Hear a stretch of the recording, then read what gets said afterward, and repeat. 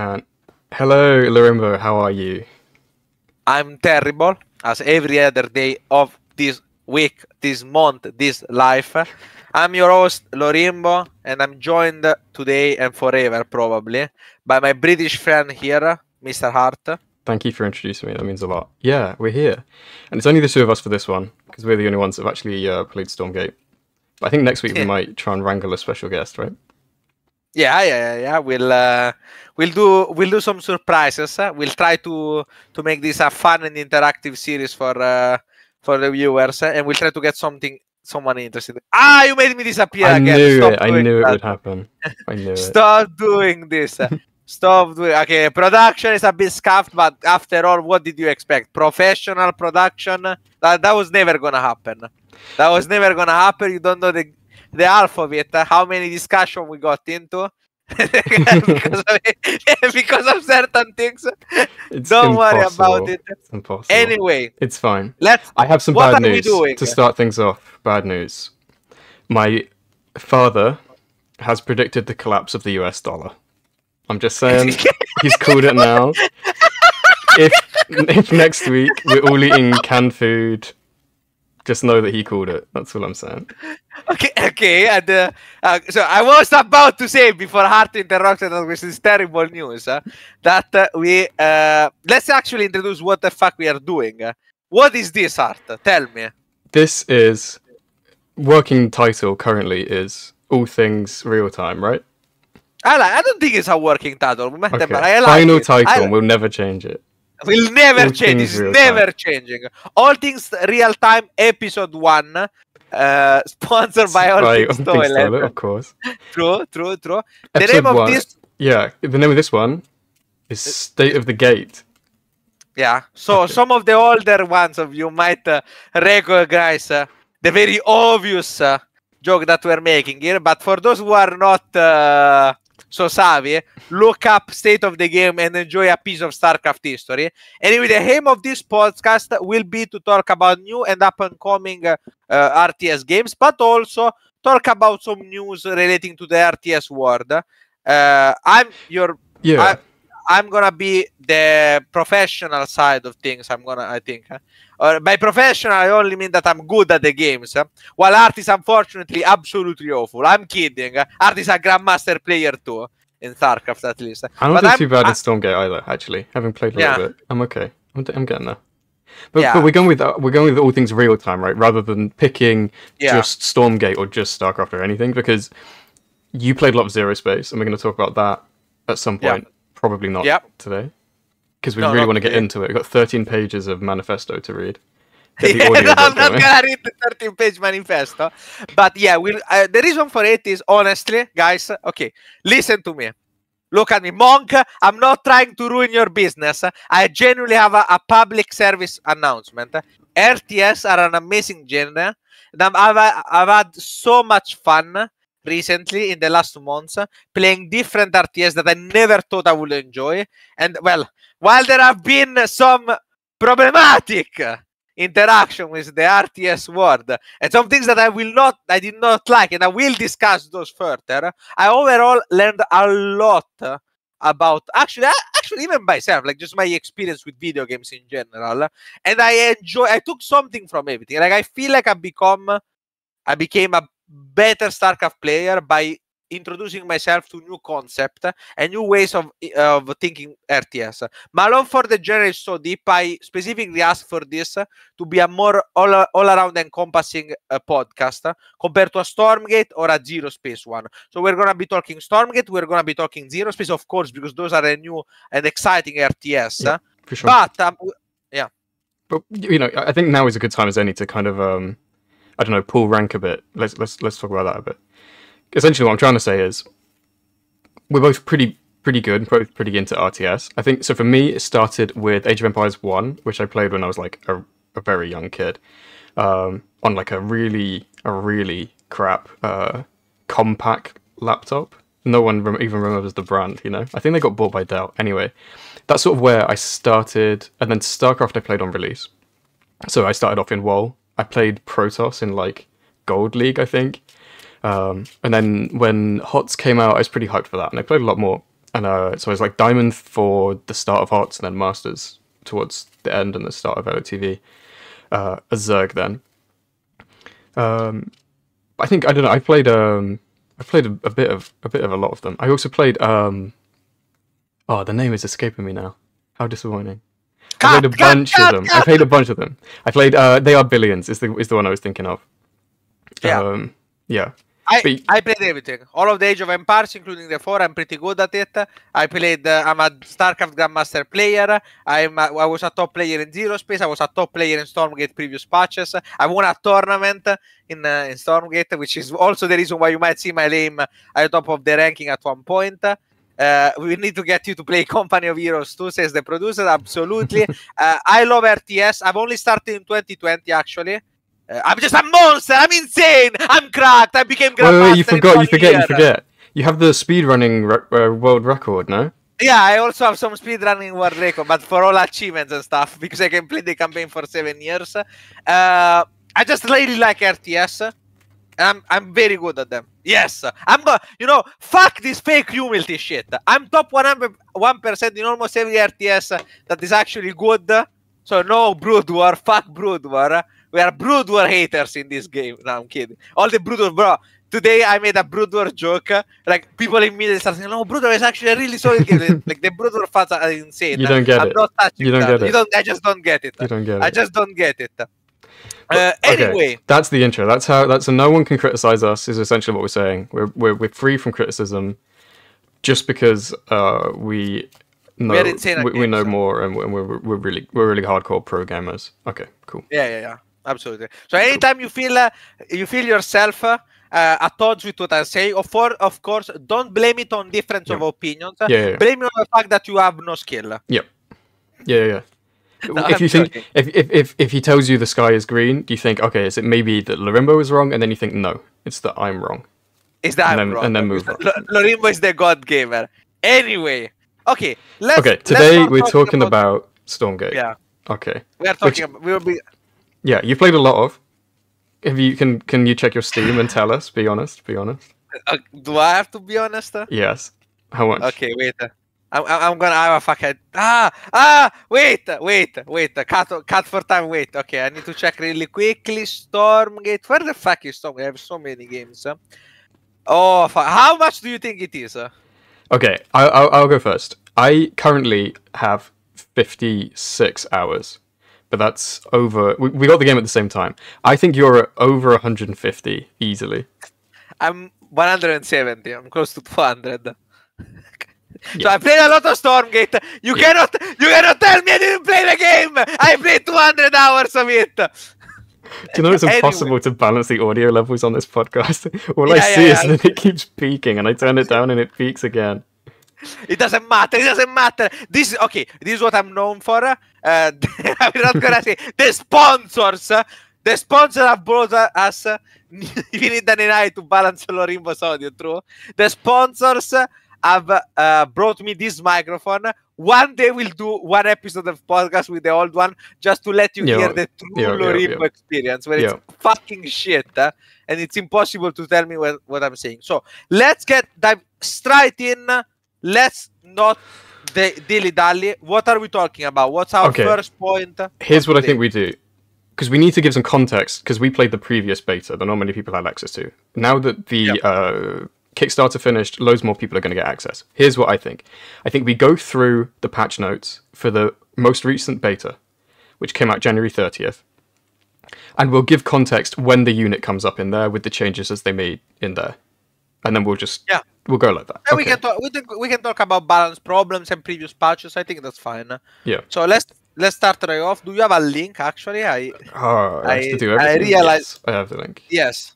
Production needs to do everything. Come on, production. What the hell? We pay you exactly zero dollars per hour. I expect a work well done. What the hell? So I send you the link. The first thing though is co-op. Let's talk about co-op. Quick, quick, quick though. Quick, quick.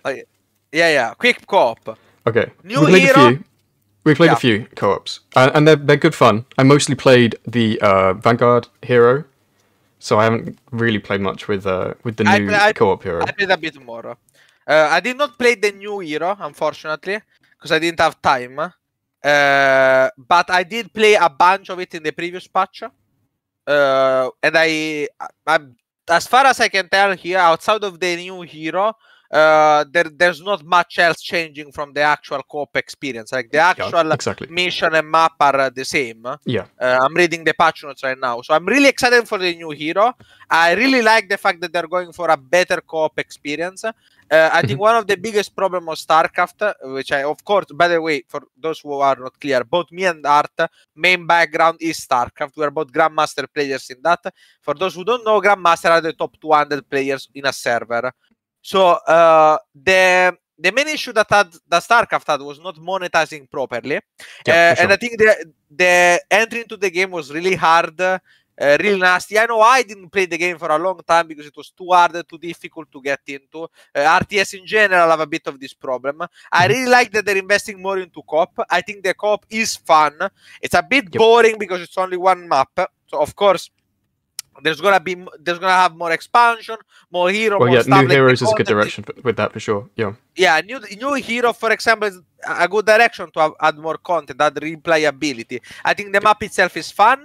I think the heroes are really strong and allow you to do some uh, some uh, interesting stuff even at a higher difficulty level. The difficulty felt quite well balanced to me actually, in the sense that my opinion is that the difficulty of a co-op mode should go in a range from extremely easy that even the most basic player can play it Yeah, to sure. hard enough that even top grandmaster players uh, they shouldn't really struggle with it, but they should at least be like, "Oh wow, that's really cool. That's fun. That's Yeah, interactive." it, it should be I a challenge. Strategize. It should be a challenge. It should not be something that you can be- beat with pure mechanics. if it allows you to think a bit more about your strategy, I think that's a good direction for the game. I've enjoyed the the, the, um, the co-op for uh, for Stormgate. I think, for example, the high on cannons shooting on your base when you miss an objective are cool. I think they're balanced quite well in the sense that they don't instantly kill your base the first time, but from the second and third caravan, you're gonna start losing units and buildings. And I think that's really cool that they don't immediately punish you. The numbers might have to be changed a bit because some of the heroes are really strong. Uh, I remember especially the the the hero for um, for uh, protector, the Vanguard, one that yeah. we were that uh, for Vanguard, of course. Sorry, Yeah. guys. Uh, Monk, Monk is gonna kill me. If tomorrow, I, if tomorrow I'm found dead, like with a with a shot on my back, you know who it was. It was the Stormgate developer. No, I'm kidding. I will get everything wrong because I paid so much of everything. Uh, I will sometimes say English uh, because Yeah, I played yeah. a lot of Age of Empires. The hero for, uh, Joan of Arc. Yeah, yeah, yeah. the hero for John of Dark. Yeah, exactly. My my biggest enemy. Anyway, it was good. I enjoyed it. I think the biggest problem right now is replayability, but uh, that's an Yeah. easy problem to fix, to be honest. Yeah, and even Uh, StarCraft, they kind of drip fed the maps. StarCraft had it a bit easier because some of the maps are ported more or less from the uh, campaign, and then they just did some like minor changes. And if you've got a fun campaign mission, you can just port it, use that, use the assets, use the map. Makes it a bit easier. Whereas obviously they're going from ground up, and you know for ground up it, it works really well. The the map is interesting. Again, it's not really hard. Uh, we played on brutal, and it wasn't wasn't hard at I all. think I played on Brutal Plus 2 at one point with Yeah. Phoenix, I think. but you know, we were it- also playing a- without heroes, so. But, it- but it's I not the mode for us, but it's a good mode, and it's good to have it in the game for sure. I think I might enjoy it actually. But the pro- the biggest problem for me is just the content. Like I I I I'm a whiny bitch. I I need content, bro. I need the heroes. I need the maps. I need the cool interaction. I need the cool things to do. Like if I do one thing three times in a row, I'm already bored. So I want that. that that's the problem. But no, that's. I mean, that one is like not a design problem. It's not a balance problem. It's just like you have to give them time. I'm completely fine with it, and I think they're going in a good direction with, uh, for example, this new hero added which I'm reading their build and they look kind of cool. I have to be honest. The other thing I have to specify for those who don't know, because remember this is gonna be become available to the public eventually, but some people might not have been been able to play the game due to um, performance issue. I think, Mhm. especially co-op can be a bit tricky on that side. Yep. Um, co-op factions have slightly different units than the 1v1 mode uh, Yeah. similar to how starcraft balances it uh, so there are a lot of weird units that are similar to units that are present in the game, but have weird mechanics or new cool uh, twist. And I think that's fun. That that's a layer of depth that is uh, absolutely not trivial uh, compared to the usual one. moving on, I think we said enough about Copra. Yeah, yeah, Do you have sure. anything to add? Next thing is on there is the 1v1 ranked leagues. And I think Yes. the, the thing there to say is that they've kind of added aspirant, bronze, silver, gold, platinum, diamond, master, um, which I think everyone will kind of get. That's It's not, you know, super complex, not really difficult. Uh, and then they're three to one, and once you get to the top of tier one for one league, you move to the to the tier above. But they've also made MMR transparent, and you can now see your your MMR, which is which is good. So I remember having uh, a discussion with, uh, I think it was Monk, uh, or at least reading Monk uh, uh, talking about it uh, in the previous alpha regarding ranked points and tiers. So let's explain. Look, okay, let's explain the way I understood it. Okay, I have to be honest here. It's the way it was explained is a bit unclear. So I'm not 100% sure of what I'm about to say because this seems to be contradicted by by what uh, what Okay. what what I'll the actual text says. Uh, the fact checks are gonna be a bit harder, so correct if I'm wrong. But the way it works is the following: you have rank points and MMR. The Yep. thing that matters the most is obviously, as always, MMR. Your rank points are limited by MMR. Now, the thing that I'm not sure about is that if they're limited by your current MMR or if they're limited by the top MMR that you have achieved this season. It's one of the two. It yeah, says it's the top- latter. Yeah, the top MMR that you get in a season. Okay. But then there's a modifier on it, which is like the uncertainty, as far as I know. So, yeah, I think yeah, it's definitely the way it's written is max, but I, it doesn't make a huge amount of sense to me to run it that way. Yeah, it's a bit it's it's a bit weird, but the gist of it is the following: ranking points get can be gotten quite easily by just playing, regardless of if you lose or win, because you're always gonna win way more ranking points. I'm not even sure if you can lose it. I think you can't. uh, At the moment, when I lose, I don't gain any. I just, but I don't, Don't lose, lose any. either. I just gain them when I Yeah, win. yeah, yeah. Absolutely. So this is uh, um, the the way it works. So ranking points you just get by playing. The only thing that well, not only the only things, but the things that really matter is gonna be the MMR. The MMR is gonna be de- determine your cap, and in a sense might even be taken as uh, your true skill. What I do like, I was really worried about this, is that Monk, I think, or at least he said, I remember him saying that he kind of wanted to hide the MMR. Monk, look at me. Look at my beautiful, handsome eye. I love you, brother. I love you like a brother. Don't make MMR hitter. It's great like this. It's perfect right now. Maybe change the formula a bit. I don't know about that. That's I'm a mathematician, but I don't care too much about the formula. Don't make it hidden. If you make it hidden, you're just gonna make it like you're just just gonna create a giant problem. Games that have it hidden, such as League of Legends or even Age of Empires 4, that is kind of hidden, creates situations where people uh, keep uh, uh, whining about getting too many points, too few points, uh, the lucky account. too many Smurfs. Too many Smurfs. I'm gonna get a new account. Uh. It's just keep it, please, Monk. I beg of you. From an Italian brother to an I think I don't know where it's come from. It's somewhere in America. I'm not quite sure. F- to a- from an Italian brother to an American brother, don't make MMR hidden. I promise you, I promise you it's gonna be better. If it's not better, if Stormgate ever fails for MMR, you can come to Italy and ask money from you can you can point a gun at me and ask me for money personally, but please don't make it hidden. It's a personal request. Anyway, moving on, I think the thing the tiers are cool. Uh, the only thing that I will say is thank God they went from three to one because I've been playing Age of Empire. Oh God, Hart! Keeps going. Why? Okay. No, it's gone again. Okay. Yeah, exactly. The cable Uh, is, because- is, uh, is because coming unplugged. That's fine. Uh, yeah, the, the cable is destroyed. I've been uh, I've been playing Age of Empires 4 where it goes from one lowest to three highest, and it's been fucking with my brain. So keep it like don't don't invert it, please. Like uh, it's it's perfect the way it is. I don't have any problem with it. Let's move on. If you don't have anything to say Yeah. about Now it. we're, we're getting into the real kind of meat of the changes. Just why you you went off the screen because I was trying to find the the full list. yeah. I'm just going to do it in the order that it's written down in. Um, so at the top is the habitat upgrades. Now I don't know how much you know about these because I don't know how much Vanguard you've played. I played a decent amount of Vanguard. I would say I played around 20 games, but it was Okay. a while ago, so I'm not sure. Like, I, oh, I was wait, so were these changes not in yet? no, They were not Okay, okay, okay, okay. So essentially, I can explain it pretty easy. Essentially, when you get to tier two, so it requires the um, command center upgrade, you can start upgrading your supply depots, which give you they're called habitats, but okay, you can upgrade your habitats, and they give for the same cost as one habitat, but obviously the the upgrade is very quick. Um, and they give you two options, so it's either the solar habitat upgrade or the rampart. Um, they're both okay. They're both good. I can see where they're going with both. Essentially, the um, solar habitat gives you a little bit of more supply, as they both do, but it gives you the um, ability which is increases the production speed and attack speed. Though obviously, I think every structure that's mutually exclusive. It's a, if it's a bunker, it can't make any. Uh, it doesn't make units, so the production speed doesn't matter.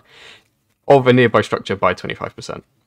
So it's a not insignificant boost. It's it's it's nice, and it means that you need to think a little bit about your Sim City because it's nice to have a supply depot or habitat near to your barracks, so that when you get to tier two command center, you can just upgrade it uh, and then start producing stuff. You know, twenty five percent quicker. It doesn't stack, but it doesn't also require much control or like a uh, micro at all. You literally just click on the structure that you want it to to speed boost, and it'll just go for the rest of the game. And that to me is actually kind of a missed trick. I think they should change that because at the moment, because it's just autocast all the time, it doesn't really cost you any kind of attention. There's no like skill check on it. So my com- for comparison, I'm thinking of Chrono Boost from StarCraft, and they've gone back and forth over the years. But historically, Chrono Boost was energy, and you would spend it, and it would time out, and then you'd spend it again. For a bit, it was on 100% of the time, and you just switch which building you wanted it on. Though obviously that was global, you could put it on any building on the map. Uh, and they've now gone back to making it energy again. Uh, and I think that's a decent mechanic. It's just having energy build up over time, and if you don't spend it, then you're losing efficiency.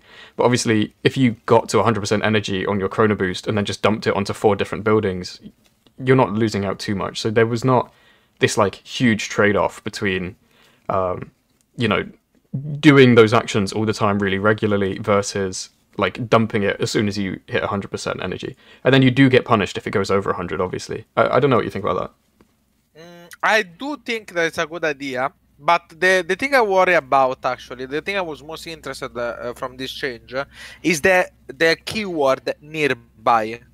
So the thing I was thinking of is that um, for Rampart, Rampart is a bit of a weird ability because the problem with it is uh, uh, you need tier two but there is a somewhat limited window in which this uh, is uh, useful for the intended purposes uh, and not useful for other purposes. What I mean by that is the following: in the early game, like you would you would like this to be good in the early game, where uh, to prevent ba- basically being all in, right? But then again, Hmm. you need the tier two, so it's it's not doesn't really work that way. At least I, I don't think it's worth to go that high. uh, Yeah, just so- to get this thing. uh. We can give some more context there. The tier 2 is quite expensive. So it's 200, Yeah. let's say, minerals. Luminite, right? Okay. Luminite, 200 luminite and therium. and therium. It's 200 uh, luminite and 100 therium. So Vanguard actually tends not to mine much therium. Actually, all races or factions tend not to mine that much therium. You know, you want to leave it as late as you can, and that's because the um, the therium expands over time and then becomes enriched. So leaving it as long as you can is actually better. It's better to leave it and then switch onto it and mine more later than it is to kind of constantly mine. It's a bit like how Zerg plays, I think, in that you don't want to take four gases as soon as you can unless you're doing something with it. Um, and even and, and then so Zerg just plays off of one gas, and then you just live off of one gas, and you just get ling speed, and then a baneling nest, and that's you know you can do everything you need to do off of one gas, right? Exactly. And my point was uh, uh, the weirdness of this ability is that if you think about it, when is it actually used? So it's not great in the early game. Uh, maybe in the it. mid game. In the mid game, you basically um, you put it on a turret, but that creates the really annoying, which I already found like run into. I think a really annoying interaction in which you you're trying to kill a, a, a single turret, which has pretty good DPS, uh, the the Lancer one specifically. Yep. Uh, it's a bunker slash turret. In, depending on the unit that you put it in, it has different abilities for people who don't know how it works. The Lancer one has a pretty powerful. Uh, it's not really area of attack, but it is multiple targets. It's a bouncing uh, attack, which is already pretty strong, uh, it can feel basically impossible to kill. Between the, the armor, because it lasts a long time, and the the repairing, you can hold that choke with a lot of units. uh, and it can it feels just very frustrating, uh, especially because, as I said before, it can uh, it can feel like there's little counterplay to it. Now, to be clear, we're gonna discuss balance a bit more finely later on. Yeah. This is not a balance complaint. Infernal is not gonna lose games uh, because of this, or it might happen, but it's usually some other problems. My complaint is that the interaction itself uh, feels a bit forced. As the Infernal player, you can't really not attack if you want to attack, uh, and it doesn't. For example, due to the way overcharge works, uh, focusing on the workers, which is not done by default due to, to how the AI works, etc., can also be a bit tricky. So it creates a pretty miserable experience.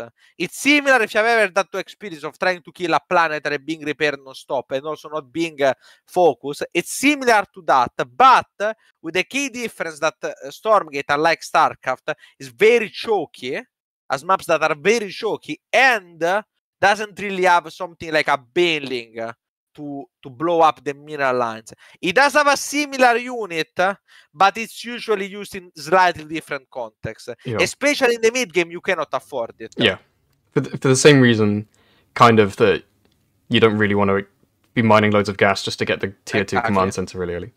So those are those are the two new actually. depot changes. They're Yeah. okay. I think basically you just put supply depots down. I always just get the solar habitat one and just increase my production slightly, but it doesn't feel super interactive or I don't know. I can't think of a good word. In StarCraft, there's lots of chores, and I think the chores allow good skill expression because a player with high APM will be better at doing all of those repetitive actions kind of on time and you know quickly, efficiently. Um, having something like this that's just passive all the time on feels a little bit weird. I disagree. I don't think the problem with this design. I do agree that there is a problem with this design, but I don't. I don't think it should be APM sink. The chores are usually called APM sinks. Uh, uh, what Yeah. really bothers me is not the fact because I actually like removing the APM sinks uh, to make the game more accessible to newer players. I love this idea. I love it even for myself. Fuck, I'm a lazy fuck. I don't want to, to inject no more. But the the problem is that an APM sink specifically has the problem has the same problem. It's non uh, it doesn't have a choice. So the reason why Boost is much better than StarCraft is because it allows you to make meaningful choices. It's very important. Believe me, trust me on this, guys. That no matter what you you think about StarCraft, if you are, for example, playing PvZ and you're getting cheesed, the way you use your Chrono Boosters is crucial. It's also ex- exacerbated by the fact that Chrono Boosters share energy with stuff like uh, battery overcharge or recall, etc. So there is a meaningful choice in using that Chrono Boost. There is no choice here. You don't. There is no reason not to do it. There is no action to be taken. Uh, there, there is no interactivity. You might as well just buff the, the the basic production of the racks, which of course will be stronger than this because at least this way you have to build up depot. Uh, but essentially, uh, it results in the same idea. You don't really you don't really interact with this mechanic. Uh, more you you just do it and then it's over. You don't think about it ever. Uh, In fact, I I- will not be surprised if in the future people create build orders in which you do it and people don't even understand why they're doing it because it's just such a non-interactable thing. You don't have to do anything. uh, You just put it on and then it works. You're like, oh yeah, do a solar habitat. Wait, what does a solar habitat do again? I don't know. It's part of the build. I, of course, I'm talking more on the lower levels, obviously. Before it, but you understand what I mean by this, right? Yeah, for sure. I think if you were being like really um like optimistic, you could say that the a really good player might think like, "Oh, I'm going to put this supply depot now here so that when I build my hangar bay later, it'll be nearby and I can boost." And it's like I, I can see people doing that. I think I've Yeah, absolutely. I've done that. But for the most part, you'll just end up having a supply depot near your production, and you'll be like, "Oh, I guess I can, you know, upgrade that one because it's there and it's, you know, it's it's helpful." I don't think people are thinking that far ahead right now. Um, Yeah. so it, it basically doesn't work out that it rewards kind of forethought or anything like that, in my opinion. I do like the um, actually the nearby thing though, because at least like it, it introduces Yeah. these mechanics of thinking about placing your buildings in certain Yeah. positions, and that, that feels fun. Like I like that.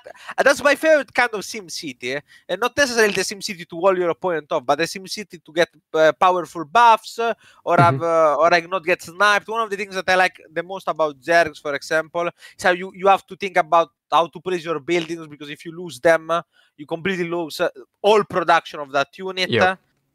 Compared to something like uh, uh, uh, a proxy gate or like how you can proxy gates, for example. Like I, I like the SimCity that is not necessarily uh, fucking with the enemy AI to create yeah, and it's not going to make you win or lose. M- Yeah. most of the time, like in a pinch, like uh, as Protoss, you just have to wall. Like if you don't wall, you're just going to die to any like Ling Flood or Bane Yeah, Blast exactly. or whatever. Whereas, and that's really punishing. Whereas, uh, yeah, there's there's there's kind of more options and, and interactability with, with kind of Zerg. Like- and, and this is now why Zerg like make their lair in the natural, right? Because it's less, it's Yeah. harder for it to get sniped when yeah, exactly. when you get Lair the natural, having the natural things like in Age of Empires 4, uh, you have uh, wall placement. You think about how where you place your various things. uh, you put towers in crucial spots to defend the expansions, uh, and all of those things feel really meaningful. For example, tower positioning is important because you have to think about the range of the units uh, and so on. You have, uh, yeah, Age of Empires 4 also has stuff like Habitat 2, like general buffs. uh, But there is, it just feels there feels like the Sim City there is more meaningful. We have to move on the think of Okay, the okay. schedule.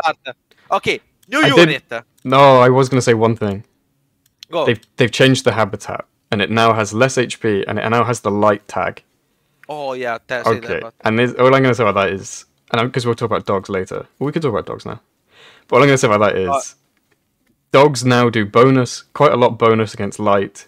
They've made the habitat light, so if you wall with a habitat, you can just get it right clicked by dogs, and it dies so fast. It is crazy. It's a, I don't know why they did it. I don't know why. I don't like I it. agree. It, I agree. Uh, same problem with the Hornet, by the way. Uh, for uh, both EVB and uh, EEB. Uh, the Hornet also does, does like I'm pretty sure. that- well, may- Maybe they might have rechanged that. Wait one second. We're gonna see it later. Anyway, Yeah. uh, Edge got with a visual update. They're a bit weird. I'm not sure if I like it. Imps got a visual update. I really like it. Really, really well done on the design team for the imps. They look amazing. Perfect the way they are. Uh, new unit, Hellborn. I'm gonna talk about this mostly because Hart, I don't think you have that much experience. I thought it was gonna be insane. Uh, this was my biggest miss when I read the patch the first time. This unit is Garbago. Complete garbage. Is currently, in my opinion, the worst unit in the game, even worse than the Weaver, because I can see a, a, a po- position which the Weaver is good, and I cannot see a position in which you want to spend 150 therium and 5 supply for a unit that does very little damage. Now, let's talk about why this unit is bad very shortly. This is a very long range unit that does a it doesn't say it, but I think he has a splash attack, or at least the animation shows some splash. Yeah, it does a splash in like a triangle shape behind the unit behind that it the, hits. the unit that it Yeah. hit. So it's a cone-based um, splash. It's the problem with the unit is that it just doesn't have enough damage and is not tanky either. It doesn't work as a siege unit because it doesn't actually create any pressure, and even worse, it can be converged and kill very quickly.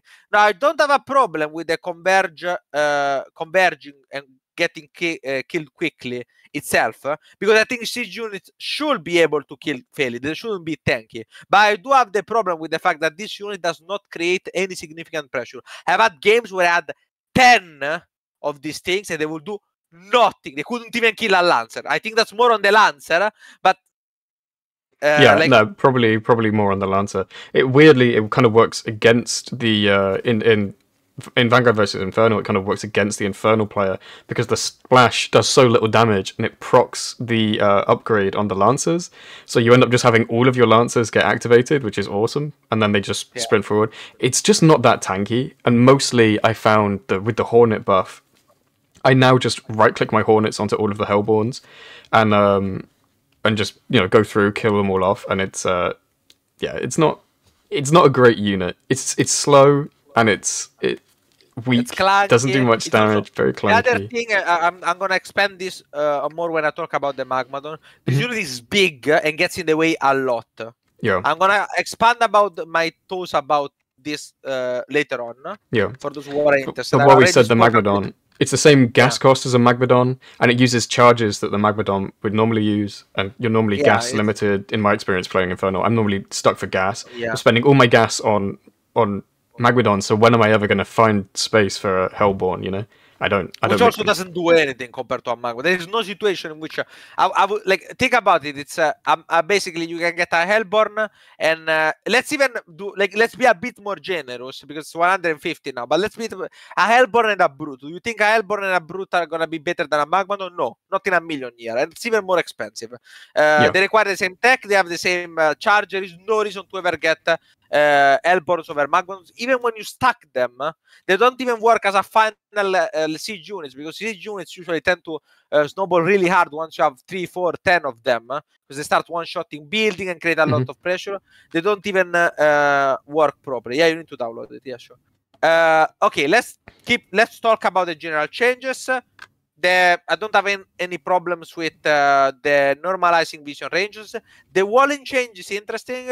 I'm gonna cut it short because I don't want to waste too much time on it. Mhm. Uh, it's basically easier to wall everywhere. Yeah. It is actually easier. Yeah. Like it, it's uh, they wanted uh, to wall, uh, wall walling to be easier than StarCraft and not as punishing. They didn't want to have the problem with StarCraft where to, you have to wall in a specific way, putting the pile in a specific way. I think they succeeded greatly. Good on them. This is really good on the game and good for new player. Well done. Okay. Let's talk Uh, about the real problematic stuff. Okay, so I think we can kind of gloss over creep changes. Don't affect much too much. They did some changes to the veterinary veterancy. No, I actually wanted to talk about both Creep and Vanguard. I think those are both meta-defining changes. Okay. I'm sorry. But I, the vet, the veterancy I don't think is meta defining, does it?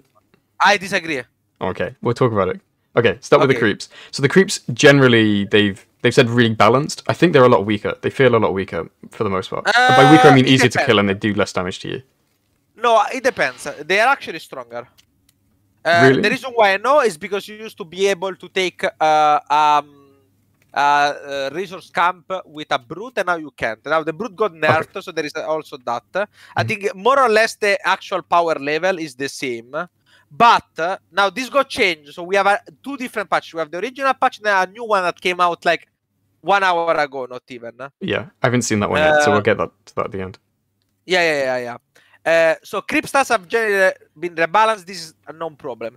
Creep scams generally gain slightly less problem as they level up. I think this is a good change. High level creep scams were really annoying to clear, and uh, you couldn't do it with a split army. You had to send a significant amount of your army, Mhm. and they just didn't feel worth it. It was very annoying.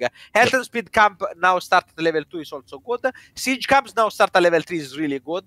Creep camps now more greatly vary number of creeps. This was the biggest mistake in this patch, in my opinion. The worst change ever. They already reverted it, at least somewhat. Uh, the reason why this is insanely problematic is because Infest works on creep.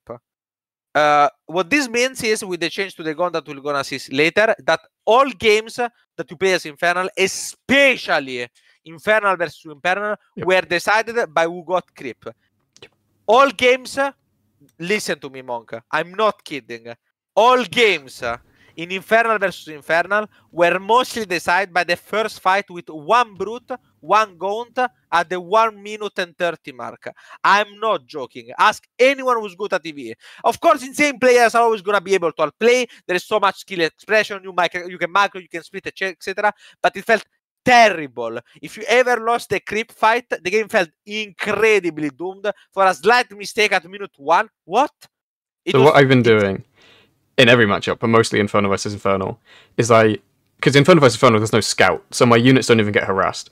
The first thing I do is I send three workers to the middle of the map, and one builds a farm, one builds a turret, and one builds a conclave. So I have three conclave for gaunt production. I have a farm which m- makes fell hogs, and then I have a turret which gives me shroud, and I can take both camps in the middle of the map, and then That's normally theirs and normally mine. So I know I end up with all of the camps on the map. I have total map control, and then I, I don't lose. That's I played that a bunch, and it it, you don't it's want to worked a fair logs. a lot of the time. The Okay, fel- yeah, yeah. Yeah, that- they do. That's bad because of the fellows. Uh, but uh, proxying, uh, the other problem is this has created an insane meta in which the only thing that matters is how quickly you can get mid. Watch pro watch good games eh? people don't make the worker at the start. The biggest infernal advantage was that they start with one worker extra you can make at the start. They don't because you want to get your iron bolt in your conclave without making a single workers because the timing of hitting mid and getting that for the first two fiends eh, snowballs incredibly hard.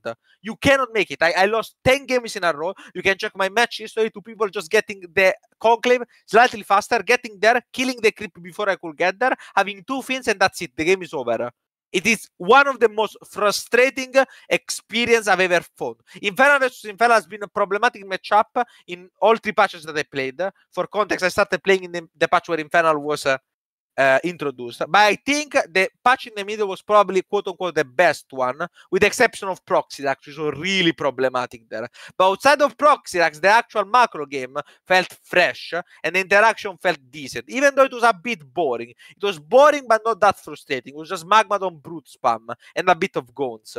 Now the matchup is hell. I hope the new changes to Creeps that just came in will do something to change it, but honestly, I'm not so sure.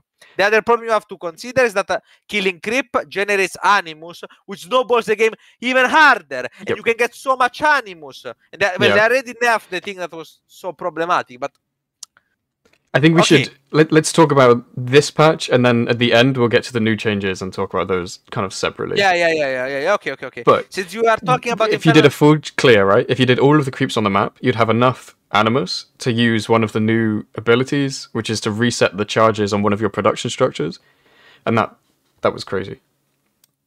Okay, for the Vanguard thing, I just wanted to, to point out to point uh, this out. Mhm. Uh, I do not think it's a crazy buff, huh? But I think it's way more significant than we realize. Like in games, I've noticed it non-stop. I've seen Marines get level three after like two fights. I'm like, wait, that Marine has double their health that they're supposed to have. That's so much damage. I've noticed it a lot actually. And This I've change- noticed uh, playing Inferno versus Vanguard when I when their dogs, if their dogs kill like not even that much stuff, they can get a level two dog, or I guess yeah, level up to level one. It starts at level zero, so it becomes a level one dog, and then I like I can't kill it because one dog will already one v one a gaunt, and then I end up with like unkillable dogs that I just lose the game to like two dogs just from them getting kind of lucky catching a gaunt out of position. It, it really snowballs. I don't think it's a bad change. I think that's mostly on me trying to cheese and rush gaunts to the middle of the map. But I, I do think it. I, I do think it. I, I think it's both a, a good and a bad uh, change. Okay. I would like them to rework veterancy in a way that scales a bit up uh, with the game. I think in the late game, veterancy makes a lot more sense, having Mhm. more powerful units yeah, because the fights are bigger. Yeah. But, But, maybe choosing to a really early, like early unit gives it too much power Yeah. getting veterans. Yeah, having that's having fair. a level three units after two fights, uh, like five minutes, uh, and, the, when you have five units total, like the guy has five marines uh, and two of them are level three, you're like, what? Like just it just it just feels weird, especially with units that are hard to catch, such as uh, uh, I call them marines, Lancers. such as Exos, Exos. Lancers. uh, Have you ever fought against a level three. Vulcan? Yes. It, it just does not die. They just never die, and you're like, oh, cool. Is- I'm losing the game to one unit. like it, it makes single units almost impossible to kill. The other problem is that it it quote unquote heals them. So if they have 10 HP left and they gain 20 on veterancy, they gain them immediately and go immediately up to 30. And Yep. ca- so you, it I so frustrating. Uh, I don't mind veterans. I don't think this breaks the game, but I do think it's um it's it it is very impactful. Yeah. Which understandable. Yeah, that's fair. Orbital cooldowns. Your turn to talk about this. Oh, I don't know if I want to. Okay, deploy sensor drone is um, a little bit like scan from StarCraft 2, but the drone hangs around a lot longer. I don't mind it. It tends not to be a great use of energy, but there are times that I'm thinking like, oh, I wonder what he's up to, and then I can send a drone. What I will say is, unlike uh, scan in StarCraft 2, you know, you're like uh, sneaking some tech in the back of your base. You're playing like two base muta, but you want him to think it's two base roach, and then he's like, oh, I wonder what the Zerg is up to, and you scan, sees the sees the spire. You're like, great, okay, that was a great use of uh, of time and money. This drone flies across the map and can actually be killed by uh, units that shoot air. So it genuinely does tend to get caught by gaunts. Um, if it's hanging around one of their expansions, they can clear it with a turret or with a with a gaunt. So it's not like a. It's not. It's got counterplay. I don't mind it. It's not super impactful. Um, I think it's important and good. Don't mind it. His the first problem I have with these new orbital cooldowns, Bob overcharge is insane It's so good, and I say that as a Vanguard player. Here's the thing now. You have to overcharge at the start of the game because they've increased the build speed for overcharged bobs. So if you are a virgin Vanguard player and you pull two workers to build a barracks, it's slower than the Chad Vanguard player who just overcharged all of his bobs and then pulled one and made the barracks. It's slower to pull more than one worker to make something. Yeah, they they really did not think that through. I think. I, I think that change is, apart from that it's really overpowered at the start of the game, I think the change is fine. I think there were many times when you would overcharge your bobs and then they would just like not do anything. They were just kind of, you know, they were stronger, but they weren't that helpful. I, ac- Whereas now you can at least of a build a bunker and you can like you can react more. What do you I think? do have a bit of a problem with it. Uh, the reason for that, I have two problems with this change. Mhm. Uh, With the, the, build time change, yeah.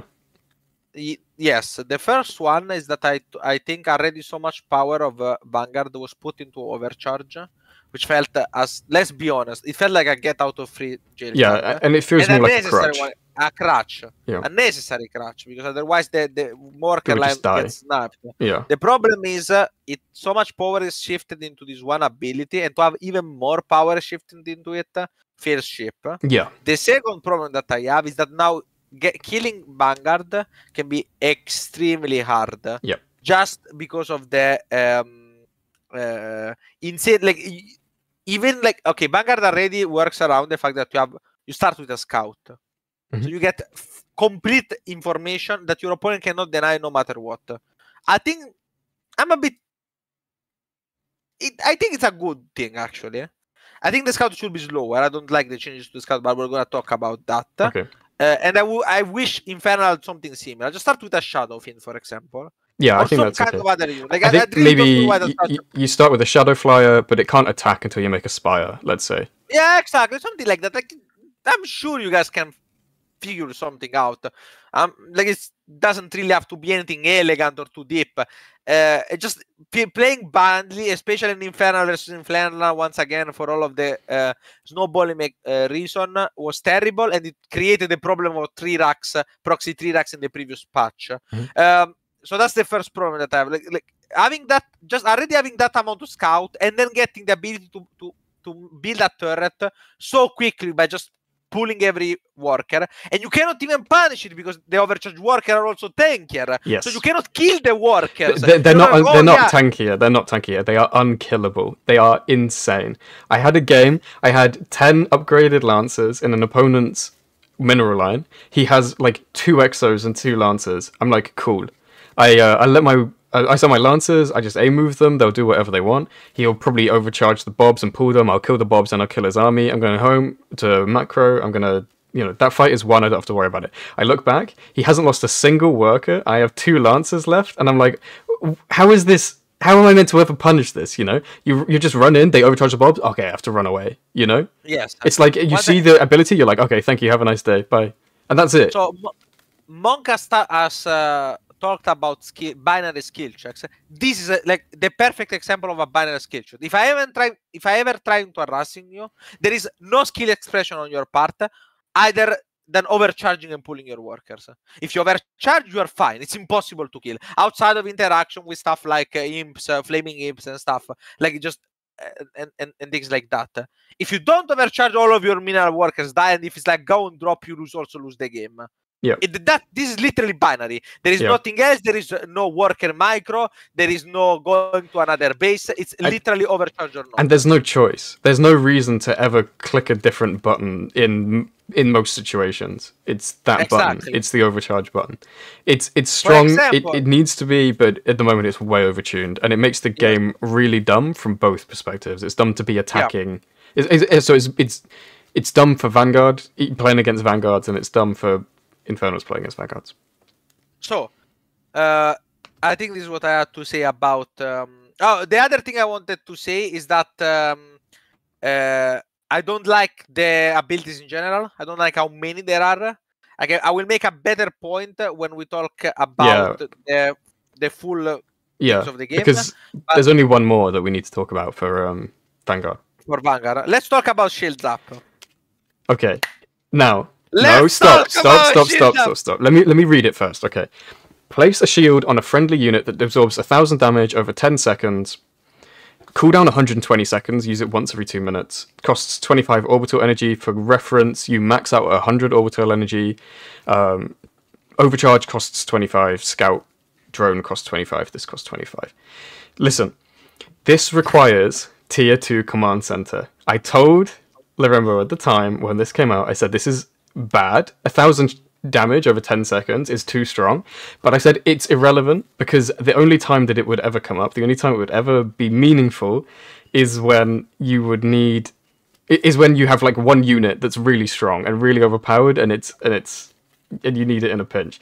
What I will say, in late game fights, you put it on one unit you don't even know where that unit goes. It just like wanders off into the fight. I never see it again. I'm, like he can't die for ten seconds, but who knows what it is? I stick it on a lancer or a, or a Vulcan, and that's how it. That's how I envisioned it being used. And I said this doesn't matter now. Can I can I explain why it's a problem? Yeah, before sure. you before you start, okay, okay. It's a problem because of a scout, uh, a scout. A problem because of the unit we need to talk about later, which is the Hornet when they nerfed cars, they decided that Vanguard needs a new good unit, and they picked the plane. The Hornet is insane, and it doesn't require a barracks, but it does require tier 2 command center, which means you get across the map with one plane that does a trillion DPS. It's not very tanky until oh he put shields up on it. It deal it it absorbs a thousand damage for ten seconds. It's unkillable and it can get across the map about three and a half minutes minutes into the game. And, uh, and then you just lose, and then you just lose. But uh, okay, so here's what I say: it's this ability is stupid. I don't like it. I, I didn't see any point in having it in the game before. Now it needs to be gone from the game because this is stupid, and it's only because No! they made the Hornet too overpowered. No, I disagree. It's even worse than that. This unit has so much more bullshit potential that you don't realize. So the, the reason why this okay, why why does Lorimbo have problem with such an ability? First, too cheap. 25 energy is nothing. Compare it to, for example, to the cost of using a scan. Like, like the utility is not even comparable. Like, not even on the same plane of existence. But more importantly, more importantly, the problem with this is that this makes a unpunishable. You, if you send a Hornet in a fucking mineral line, I cannot deal with it. I cannot do anything because the Hornet is invincible for a thousand years and has insane DPS. is gonna launch a Hornet, by the way, can kill five towers in those 10 seconds. yeah, make And you're six. like, oh, make yeah, six. okay, no, no. Make six Wait, towers. wait, wait. But but that's not even that. It snowballs incredibly hard in small fights. The thing you have to realize is that the game in the way they currently is getting tier two is not it is pretty expensive, but you can get it when you usually have what? 10 units? Maybe. Not even most Uh, likely. Ten army units. 10 army units, more or less. Yeah. That sounds Yeah. about right. Yeah. A bit more, a bit less, depending on the game, of course, how much you're trading. If Yeah. all, all the all cases aside. Yeah, your opener. Yeah. Because putting one of them invincible forces your opponent to micro very careful about it, especially if it's a lancer with the upgrade that can then kill you, slaughter your whole army to due to the passive getting things like, like you can do so much things with it. uh, It has insane potential, and it's incre- like there is very little counterplay from the opponent because if you say. Oh, you can just ignore the unit. Then you're running one that you have to fight against the aggro, which means that every single unit you have to manually like you have to You have to say don't don't focus that one unit that, Don't that one- that- running you down and cutting your head off. Yeah, kill the Yeah. other lancer. Yeah. kill kill the other lancer. Like if you ever played Age of Empires 4, uh, cavalry versus archer, where the archer keep shooting at the fucking cavalry doing zero damage, it feels exactly like that. Uh, but also, it's it's as as as Hart said. I put it in a big fight. I don't even know where this is. Neither do I. I can't fight. Like I lost 1000 DPS, 1000 damage in a fight because my opponent did a random unit I did not notice, and all of my units were attacking it. It's Yeah. Yeah, it's also, not. It's also, not. You It's can so send a dumb. Hornet, you can send a Lancer, you can send a, a fucking uh, Vulcan in a mineral line with it on. That's it. Like your opponent Yeah. is forced to evacuate the entire fucking. uh, Yeah, you should over, huh? you should overcharge your imps. What's wrong with that?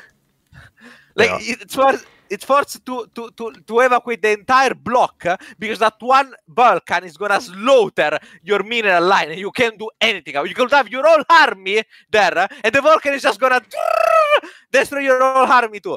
Ah! One of Yeah. the okay. I, It's I good. this day one. Hart can confirm that my reaction No, was you did, exactly you the did, you when did. I read that. You did. For the season, I was absolutely right. Uh, fuck this ability. Oh, Actually, okay. We're nearly an hour in, so we've got to pick up the pace a little bit. But I think we've covered mo- like some of the problems that we're having in general already in a broad Okay. way. Lancer build Yeah. time decreased. Listen, Lancers are too strong, but three seconds less build time, it, not that not that big of a deal. I completely, I, I completely agree. I like the Okay. change to the Lancer. I think Lancer need to be gutted.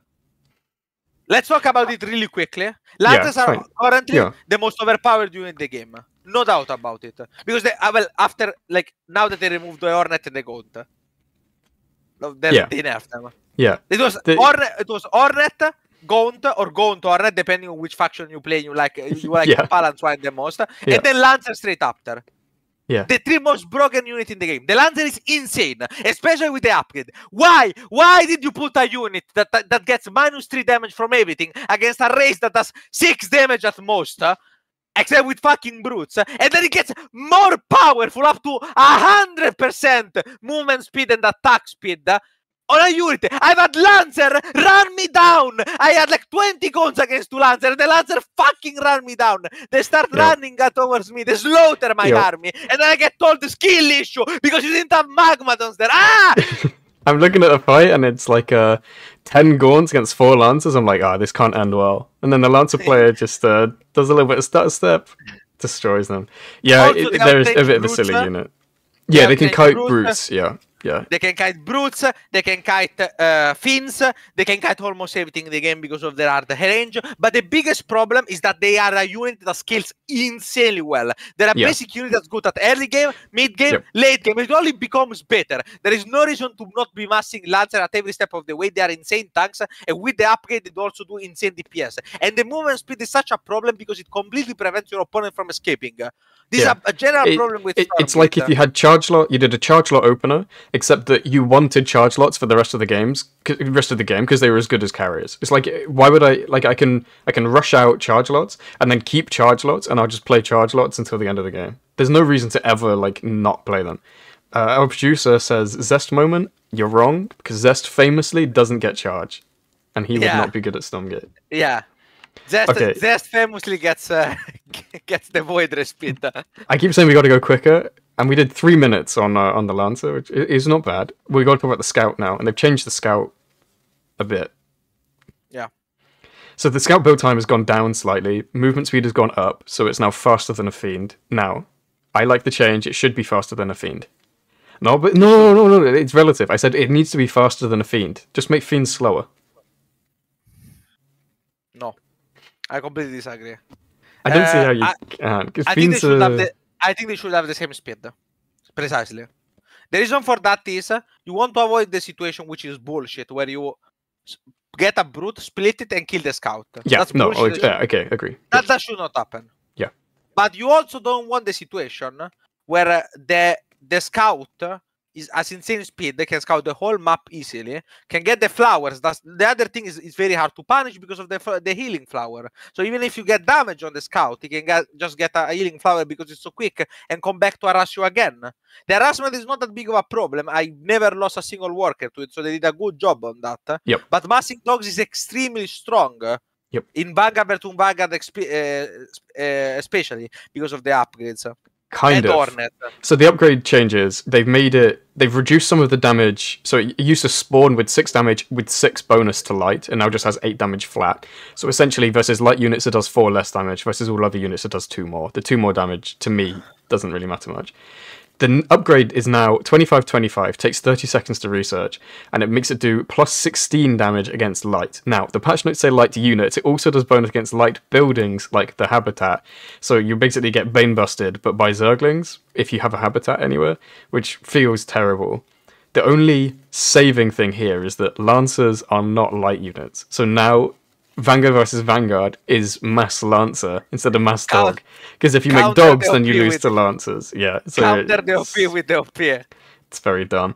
Then the next upgrade is um, requires the tier two command center upgrade, the central command upgrade. I've never And- seen anyone get it. No, it, it- this is cheap and it doesn't take long to research, but it reduces um, biological movement speed by 25% on hit. No one really uses it. That they used to be the other way around, and you would get the movement speed thing first, and then the bonus damage second. Um, but now just nobody gets the gets the slow. Um, Vanguard is often still dog versus dog, um, and I don't love it. But yeah, it, it I don't know. They yeah they haven't done great on that one. Okay. Uh, EXO. Yeah. I like the changes. Cost increase is good because of the buffs, uh, of course. Mm-hmm. The EXO was a bit underpowered, even uh, even more. No, just a bit underpowered. I think now it's fine. Uh, the weapon range, I'm not a biggest fan of. Uh, the reason for that is that it was already pretty hard to reach it uh, with anything, and it now feels even harder. And this Yep. interacts really badly with the veterancy problem that I talked about before, Mhm. and even worse with the Lancer problem because you can never fucking get past the Lancer and actually reach the EXO. I like the damage increase. I don't li- love the range increase. I wish there was another way. I really wish there should be. I really like the first variation of them. They could Yeah. maybe buff the upgrade and give them more move speed, less range or something, and then there would be more micro involved instead of just like they just are further away. Yeah, but then Dunno. infinity kiting is always not fun. So yeah. I think the biggest problem with that is honestly the fin nerf, uh, but, but we're gonna get it uh, later Okay. on. In any Medtech. case, the EXO is now viable because uh, Global Infest, which we'll talk about later, is, is changed, and that that is Yeah. why you're seeing them, which is good. That was a good change. Global, and also the Lancer is really good for us a frontline. It, Yep. they, they they do pretty good, good damage now. Yeah. Uh, uh, Medtech bot version of Nanoswarm no longer stuck with actually with other instance of Nanoswarm. Yeah. This was honestly necessary. The meta was insanely overpowered, but I think it was just not really thought of. Uh, it was just.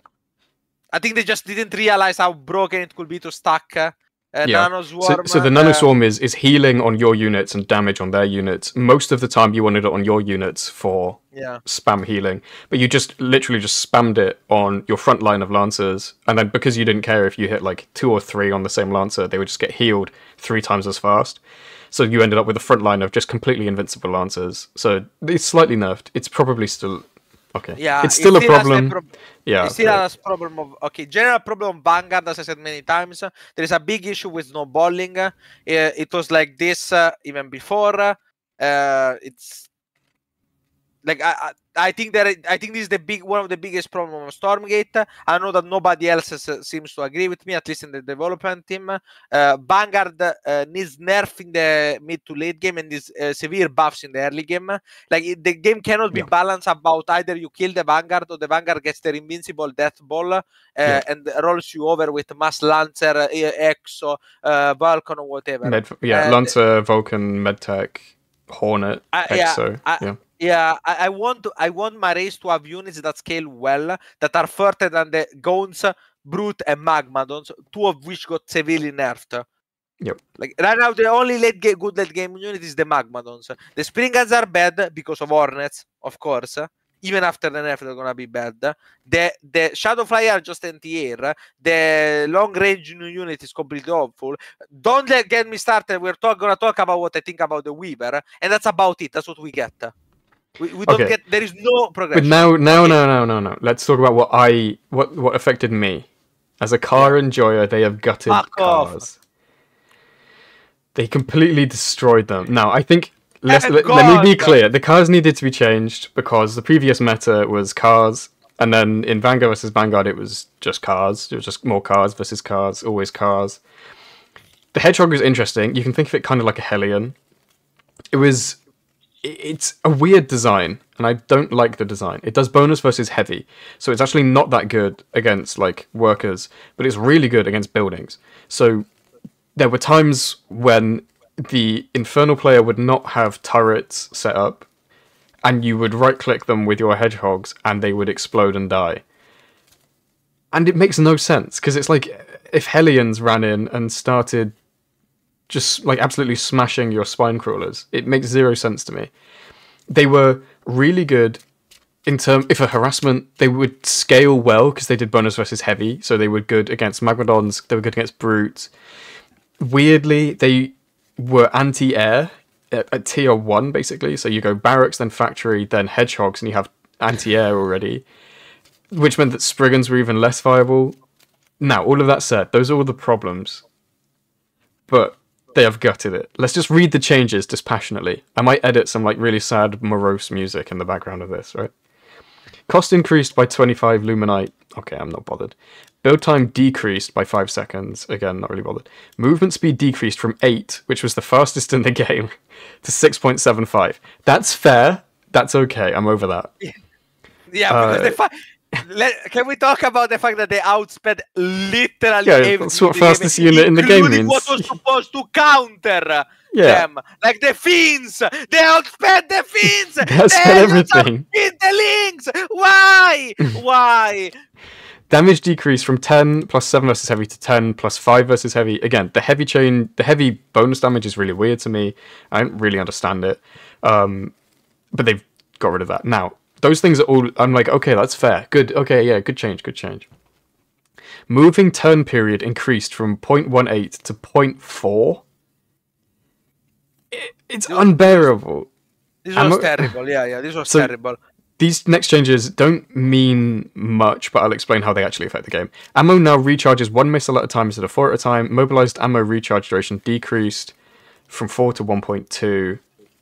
Um, listen, all this means is basically it used to used to drive around a bit, and then you would have a barrage of missiles. It would go like do do do do do, shoot a bunch of missiles out.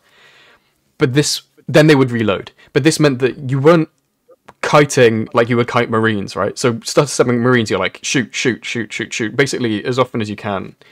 This meant that there was a reload period where it was better to run away and then shoot all of your missiles and then They've gotten rid of that now. So every time they attack, they just shoot one missile. Um, and they feel more bland for it. But to me, the worst change out of this lot of changes is doubling the turn period. It makes it feel so awful to control. It's so sluggish. If, if functionally the range is less against melee units because it takes so much longer to turn around. You basically lose one range because of the units running towards you. So pretty much in every way, this unit is is it's not probably unplayable, and I might try it and, and start making them again. But it just feels bad to to to use. It's just it just feels clunky. It feels slow, and I don't like it. And that's not a, a balance thing. Like uh, you could make the damage way less, but have them feel okay, and I might still make them. The other changes, Yeah. just to touch on those really quick, really quick. Yeah. No longer attacks air while it's in car mode. I think this is good. It didn't make any sense for it to be anti-air, except that now you do need them to shoot air because of uh, because of planes. Um, can now deploy without an upgrade. This is really good because the upgrade nobody ever made it. It was pretty pointless. Um, and it basically the upgrade turns them into like a kind of a turret. Um, they've now reduced the range, so the car range from six to five. The deployed range went from 13, so deployed is when it's in turret mode, went from 13 to 8. 13 range was mental. It would be basically shooting you from across the map. It made zero sense. But now what they've done is they've made the upgrade, increase the um, anti-air range back to where it was before, and the anti-ground range now is one further than before. But these upgrades are like kind of out of the way. You need to make a machine lab to get them. So you have to go barracks, factory, machine lab, and then it's a lot more gas on top of that. So the gas expense to get to get these upgrades it, it takes a while. I think it's still viable and still usable. I think mostly because you because the anti-air in the really late game is really strong, having 13 range and it does a lot of damage for a really cheap unit is is very strong. But in all other kind of ways, the car is um, the car is dead. Okay. Uh, Was anything I said there? I just talked by myself for like two minutes. But was anything I said there unfair or it was untrue? more. It was more like five. Uh, I the only thing that I will say about it uh, that Hart has his opinions on it. I think the car is the most uh, toxic. Was the most toxic unit in the game. It was terrible to play against. It, I think it was fun to play as, but uh, very toxic. There sh- never should be, and this is gonna be a recurring problem with the plane. uh, specifically. Uh, there never should be a unit that outranges you, outspeeds you, and outdamages you. It was ridiculous. The only way Infernal could um, deal with it was by turtling and then preparing one strong push, and that was it. You had complete map control for the whole game in the Infernal versus Vanguard matchup. There was nothing the Infernal player could do. They outsped Fiends, which were logically supposed to be the counter, since these were supposed to counter heavy units. They dealt well with almost everything except Goons, so the only thing that really managed to rein them in. And uh, um, it was just a bad design. I think, I, as, as I, said, I said before, the Hedgehog is a unit that is badly designed. Uh, I don't think it will ever be non non toxic. It's either too weak. When, when it's weak, it's terrible and feels terrible. And when it's strong, it's a monster machine that feels like it has very little counterplay. There was very little counterplay you could do. You could set up surround and stuff, but even then, you have to remember that uh, Stormgate has still the problem of having very uh, non-open maps very corridor like maps which make it really hard to set up surrounds because you have to go around huge chunks of the map or you cannot split your army properly and there's always a new corridor in which your units can escape. It was also very problematic was the interaction with the ailing turret which allow you to further extend control. The previous map also that um, uh, uh, well, I call it a sensor tower, but it's a vision camp close to the yeah. bases, which allowed you to perfectly read the movement of the infernal player defending. Uh, or the Vanguard player. It, it happened. Yeah, it goes both ways. Yeah. Yeah, I mean, I'm talking about VV, VVE. It yeah. was a terrible unit. Uh, I said it. Uh, in fact, I called this out even before the like. I called this out in the very in the the alpha before this, where cars were not good. But I played one game against him. I said this unit has to go because if this unit is ever good, it's gonna be terrible for the meta game. Unfortunately, the design team did not think the same, but luckily now they uh, ran, they they destroyed it. The tur- I don't don't like I don't particularly like the uh, solution. Uh, it's not elegant. The turn it just feels terrible and just just, just a very unfun unit to play now. Uh, which in my opinion is the worst way of balancing a unit, making it almost unplayable or very uh, clunky. Uh, I honestly think this should be uh, removed or reworked rather as a different units. Maybe anti-air units, the turret idea, there could be some ideas there. Uh, going on, because you have to speed up slightly, Vulcan build the time decrease from 50 to 45 seconds. I don't have a problem with this.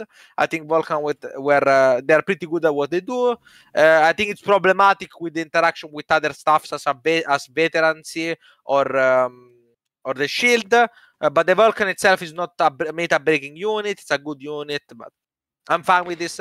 Okay.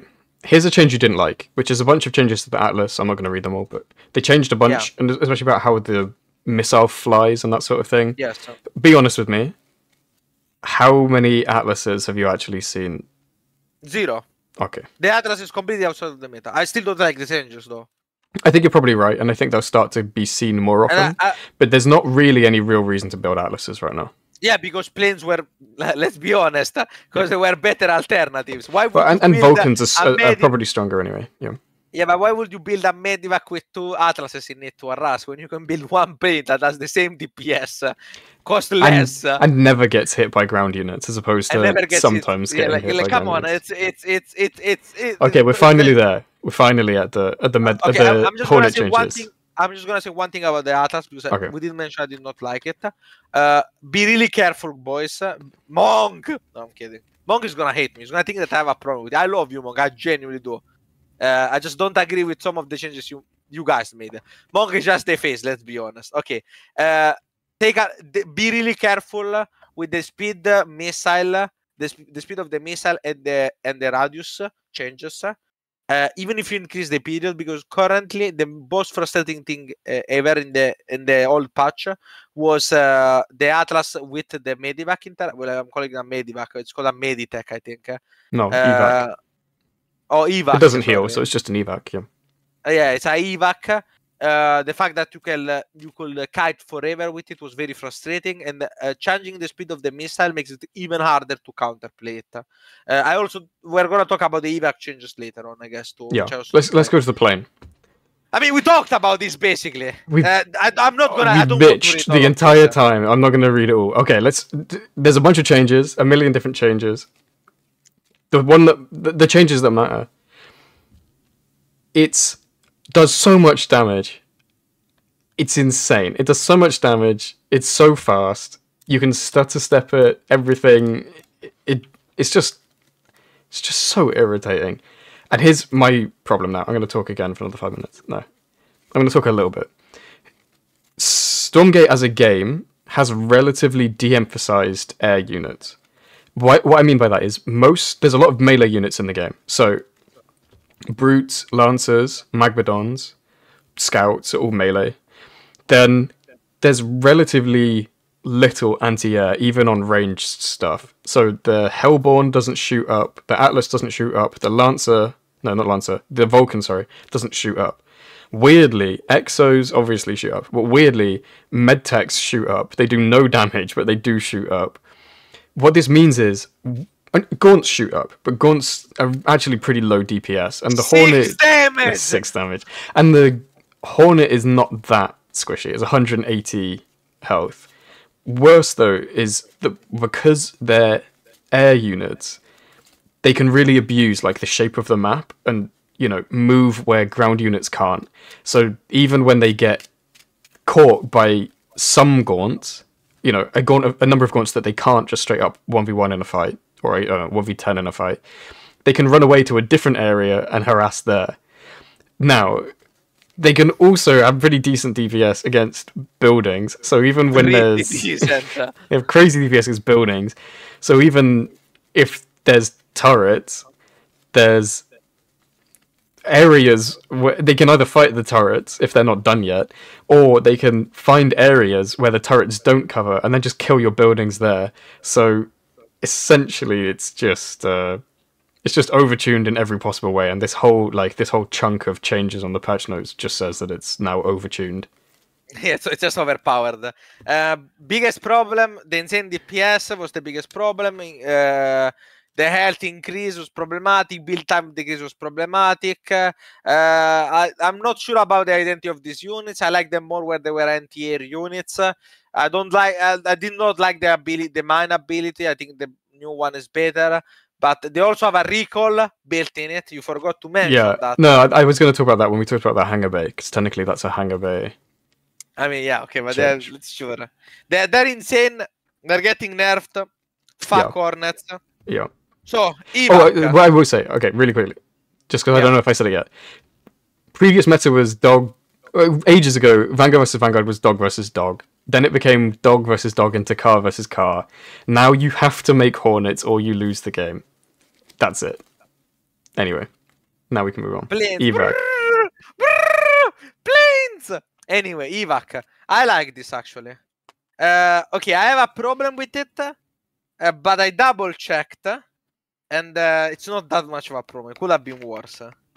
So uh, the thing is, uh, this is this is we have to think about the the identity of a, of a unit. The evac currently felt a bit boring. His biggest strength was basically abusing insane like stuff like Atlas drops and stuff, Yeah, or drops. Vulcans drop uh, and stuff. Yep. But it wasn't it wasn't really used as an evac. It wasn't used to transport units. It wasn't really used to escape. It was mostly used to either infinitely kite with the help of the Atlas, uh, removing their biggest weakness, or just nuke a, a mineral land with a Vulcan. Yep. That was more or less the thing. I don't necessarily mind, and this is the part I like, turning them into a slightly more utility-based spellcaster. Let's put it this way. But I do think that there is a problem with the current version of it. A design problem, not a balance one. These are not powerful. Evacs are not meta defining at all. The design problem that I have is that I find it really weird that a unit counter it counters its counter. What I mean by that is that against a Eva, uh, an evac, as an infernal, but also as a vanguard player, you're like, oh, okay, there is an evac Eh, uh, flying around, killing my bases, killing my units. I'm gonna get anti-air units such as, as the Shadow Flyer or the Hornet. Well, the planes are always good, but Yeah. supposedly you will get the Hornet. For example, yeah. I, I, I'm gonna counter it that way. That, that that's the way you do it in StarCraft. That's the way you do it in every other game. You get a Viking or something like that, a Void, a Phoenix, whatever, Scourge. a, a Scourge, etc. The Evac having the the mine ability. On one hand, it does create a little mini game, and luckily it doesn't one shot Shadow Flyer, which would be really really dumb in my opinion. So at least they dodge that problem. But it does like it's just kind of weird design. It doesn't do anything. It's not overpowered because doesn't want kill do anything really. It's just weird design. Like what's the point of it making it escape easier? It's already pretty easy to escape due to high speed. The only thing that can kill is anti-air units that are also flying. So why would you why would you go around the only counter and try to make it less counter? It makes it doesn't really make sense to me. Like I don't think the evac problem at the moment uh, is that um it, it was too easy to catch. I genuinely don't think that was ever a problem. In fact, I think it was uh, at one point they had to nerf both the evac and the Doombringer uh, because they were too quick. So just that's a weird design in my opinion. Do you have anything to say about this? No, except that we clearly love the sound of our own voices too much because we're we're burning time. The next change is Sentinel. Okay, here's what I'll say for this one. Have you ever seen a Sentinel? No. Okay, we can move on. No, Yeah. they've changed it a little bit, but it's still pretty irrelevant. I still haven't seen one. The funniest Yeah, thing about this one is fixed a bug where the benefit from nano defense bubble could stack. This meant that if you hit a unit, it would gain health because you just stacked it. So you have like actually completely invincible units, which was funny. Is now gone from the game. Good. Yeah, I mean, it, it's just it was just a bug though. Uh, habitat change. I think you already talked about. Yeah, we did that one out of the way. Yeah. Hangar Bay, cost reduce, return to hangar speed bonus. This is the recall I was referring to. Yeah. So it used to be 25% bonus broken. move speed when it flew back to the hangar bay. Now it's hundred percent bonus move speed. It's just it's just a re- it's just a recall. It's it you can rarely catch them. Like I caught I've caught planes recalling before, but it it's not it's not a great Eh, change in my opinion. I mean, it's to be honest, it's not meta breaking, in my opinion. But I, Yeah. al- I I don't like the design. I don't think it should. I don't think having recalls in the game. God knows how much I hated that about zero space. Yeah, exactly. Yeah, Like, uh, no, just don't. Just don't. If It- a it's worth get noting- caught, it should die. yeah. It's worth noting as well that the recall heals it when it gets back to the hangar. It heals the unit. Yeah. Uh, Bazzo Cannon, range increase, bounce range increase from 4 to 5. This is an insane change, actually. This is by Yeah. far the best turret in the game, not even close. uh. Yeah. Uh, it looks, uh, it didn't, doesn't look that big because just range increases. The big thing, in my opinion, is the bounce range. It's impossible to split units. Yeah. It's always gonna, the bounce range is so big, you can surround it, have like four different. Uh, uh goons attack it from four different angles and it's gonna hit all four Yeah. it's ridiculous uh. so just be clear, this is uh, when you put a lancer in a bunker, it becomes a It's the Lancer cannon. turret, yes. Yep. Yeah. It's the Lancer turret. I don't have a problem with it. It's a bit overtuned, in my opinion. It's really, really strong. Uh, Yeah. especially with uh, the. It's, it's not overtuned by itself. uh, It's the, it's the problematic interaction with mass repair plus overcharge uh, Yeah. and so on. Uh, and the, the depotting and so on. The next one is Uh, quick. This is the change to when you put a scout in a bunker. It makes the vision bigger and No allows one it to see used this. Pretty No one has irrelevant. ever used it. It's no actually one has ever used it. it's actually better to have the dog out of the bunker because it gives the uh, like the radius with the like a sensor tower radius, um, and that's fine. And then you can put something else in the something good in the bunker. Oh, also, since since now we, uh, I forgot to talk about it. We now we we, we got a lot of time back uh, on the schedule because we we're going too quickly. Yeah. Uh, why why the owl on the scout? That's just being used to be BM right now. Just so you know, I just want you guys to be aware. It's completely useless. They just do it to BM now. I just want you to know. I don't know if it was intentional to make it a BM mechanic, but it is a BM mechanic now. Just saying it. I love I love the owl. on. I love the love dog. I love the howl. Yeah, Flat this cannon this change is big. Yeah, flat cannon Yeah, was when you put an exo in a bunker. Um, it used to do It was 24 damage at 12 range, so it would just nuke from like outer out- outer orbit. Uh, now 12 it's range is a lot. yeah. Now it's it's uh yeah it's nearly as much as a, a upgraded sieged uh, car. Yeah. Uh, now it's 19 damage, so five less and two less range. I, I think the, the the change feels noticeable for sure. Yeah, I think it's good because this was uh, like there basically there was no other op. You always got went for the flak cannon.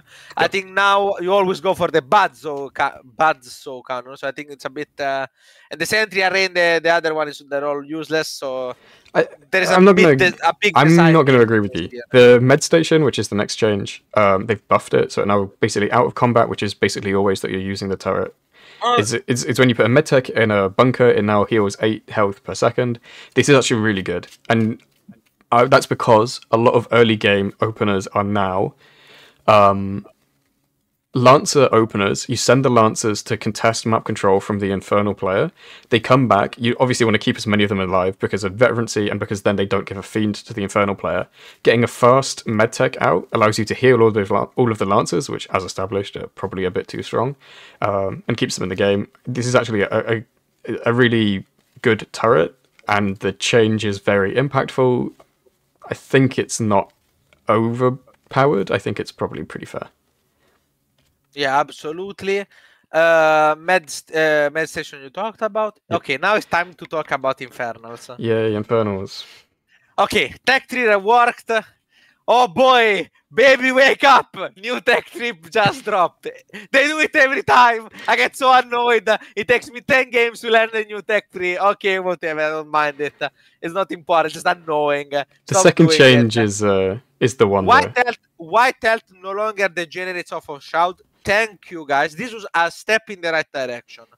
I and Infernal units now generally have 25% of health as White Health instead of 50. I think this was a really good change. The reason for that is that it allows both to prevent the problem that was uh, in the first alpha, uh, the third actually. I mean, the, the Infernal one, we're just gonna call the Infernal Alpha Yep. the first Infernal Alpha, which was that it was so convenient of just stacking your units on creep, letting them regenerate white health and just go all in. It was so strong. Units with 50% extra health, extra health it was insane.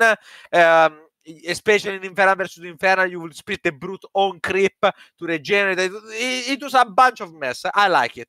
I like the solution. The previous solution of the generates of Shroud felt terrible because it encouraged camping. You will never go out because your units were bleeding health. Yeah, Uh, this solution is more elegant. It allows you both to have an advantage of staying on the creep, regeneration and stuff. Keep that advantage a bit, 25% off creep, but without bleeding out completely. I think it's good. It also Yep. disintensifies stuff like um, parade pushing because the new units are gonna be weaker. Yep. They are not gonna have uh, they're not gonna have not for anyway. white health. Yep. Yeah, yeah. So that, that that that that was completely fine. I think it's one of the better changes that they made. I really yeah, like it. for sure. And then nothing So- the health, the total health as well. So they now only have twenty five percent white white health as opposed to fifty percent. Is Yeah, I said. I said yeah, it. very fair. Yep. Okay. Rituals. I hate rituals. Uh, So these I used to be on the like- turret, and you used to have to select the turret to cast them. Now they're on the top bar, which is relatively better. no, it's worse. Way worse. In my opinion, it's way worse. Okay. Uh, okay. So let's talk about rituals. Uh, let, let's talk about why they're problematic. So, how do I start? First off, I think I, I wonder if they got inspired by Zero Space, uh, but I will make a comparison with Zero Space because I think that's the closest game that we have. uh, Either that or the Spear of Adun. But the Spear of Adun is a campaign; it's not supposed to be balanced, so it's uh, doesn't really work. The Spear of Adun is a thing in uh, Legacy of the Void uh, StarCraft 2 campaign, by the way, for those Yep. who don't know. Uh, so, I really dislike the way the rituals were made. I dislike them at first because I think that uh, sp- global spells in general are a problem. Mhm. Uh, and I dislike them even more because they are way too many and way too spammable. They feel insanely impactful. They were insanely impactful before. The previous iteration of uh, of uh, of rituals was overpowered due to one ritual. The other ones were all useless. All of them are useless except one. This is still the case in uh, somewhat, at least, uh, but better now. The the one that was OP was of course Infest. For the global Infest was completely broken. Global Instant Infest. Yeah. So, that's the first change on that list. Yeah. Now the, the no, I want to talk about it generally, then I'm gonna go Okay. one by Okay. one. Okay. okay. This is a big. You have to. This is the biggest change. Yeah. Infernal. Okay. Let's use, use the So, last the- half an hour on uh on the ritual. No, I'm not gonna. use- I'm gonna use maximum ten minutes from now. Okay. I set the not even. timer. Go. Not even. Okay. So, uh, biggest problem, they are clunky. There are too many. Six of them feels really hard to use. They are a bit buggy. I've reported several bugs, but those are gonna be solved. I do not like the way they work and interact. They are very hard to understand what how to use. The uh, like all of them feels very niche or incredibly overpowered. There is no middle ground. I don't like. I, am not talking about the balance of each one of them. I hate all of them.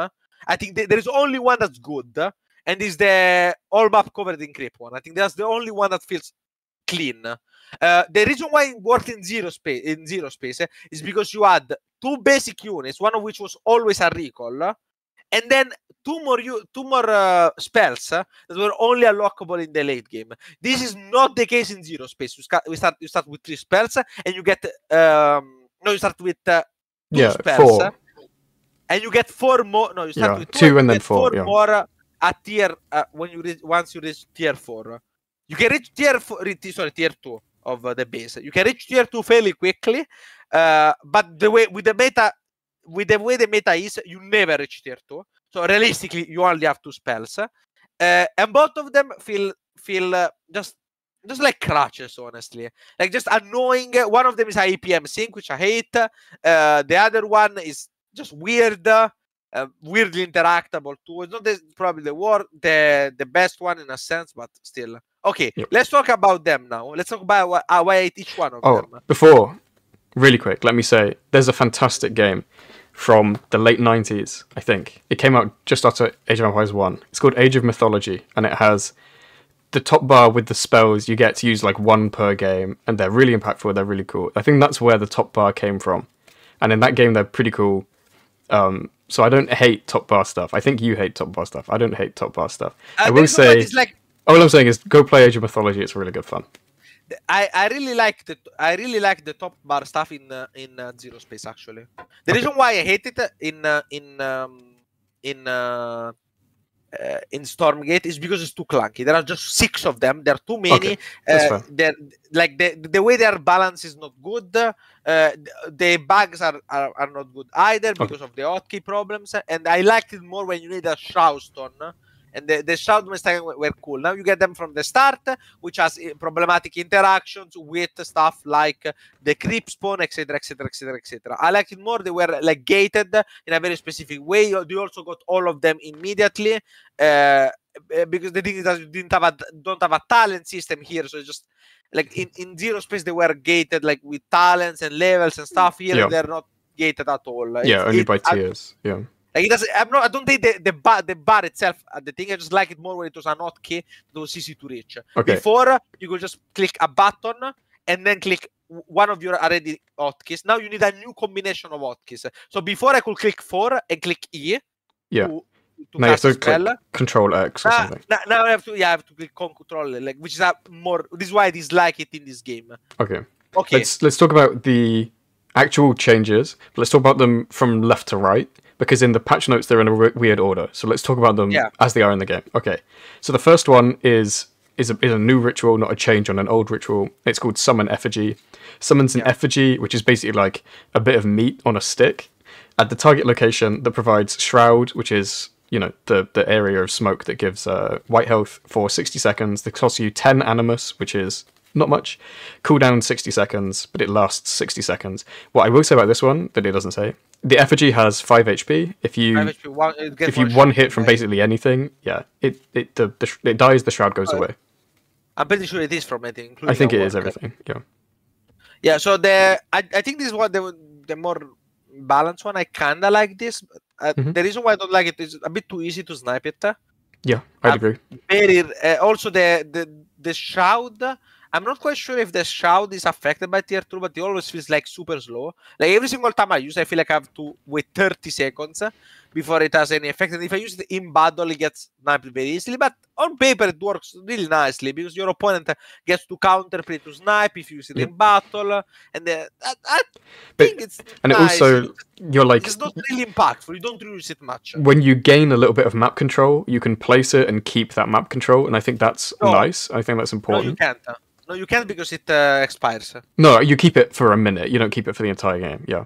Yeah, but it also like pre- uh, forces you to stay there. Like it's way better to just bring a turret.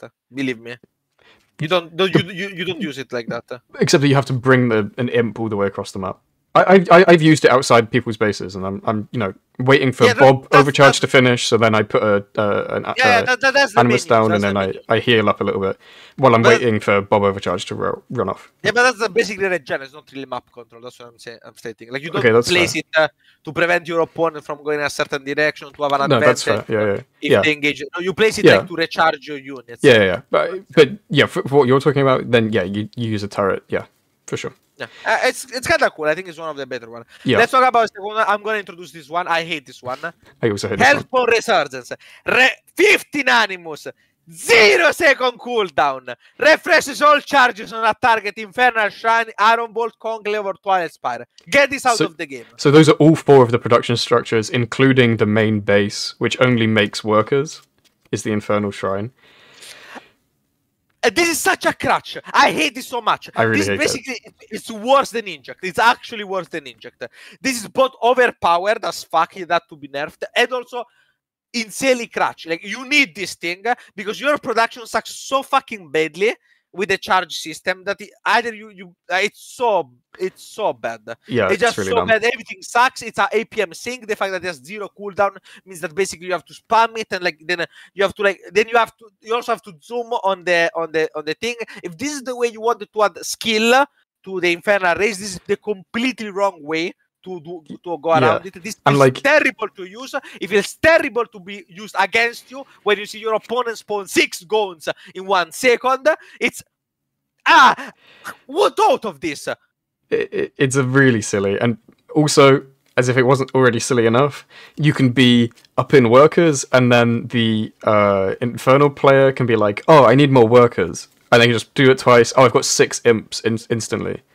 I think this is not problematic against Vanguard. It could be balanced against Vanguard, but it's super problematic in Infernal versus Yeah. Infernal because it means that if you don't expand, you get Animus from the map. You also get more worker than the guy who fucking expanded Yeah. because you have because you Just because you went around and killed all of the camps, you can now use instantly. You have Yeah, the bigger army and more work. I played a game against Mixu in which I opened CC first. He opened a double racks first, did not do a single damage, and he had three times my worker count by just clearing them up and a bigger army. What? Who thought of this? Who thought of this? it's I very, just get very this out. silly. Buff, also- buff Infernal in some other ways and just kill this, please. please just 15 animus is like nothing. It's so little. It's crazy. Okay. Anyway, so the next one along is Shadowfall, right? On the bar. Yeah. It- okay. No, that's the fourth one. It's uh, Bring Darkness. It's the infestation. I don't have a Oh, problem yeah, with yeah, this.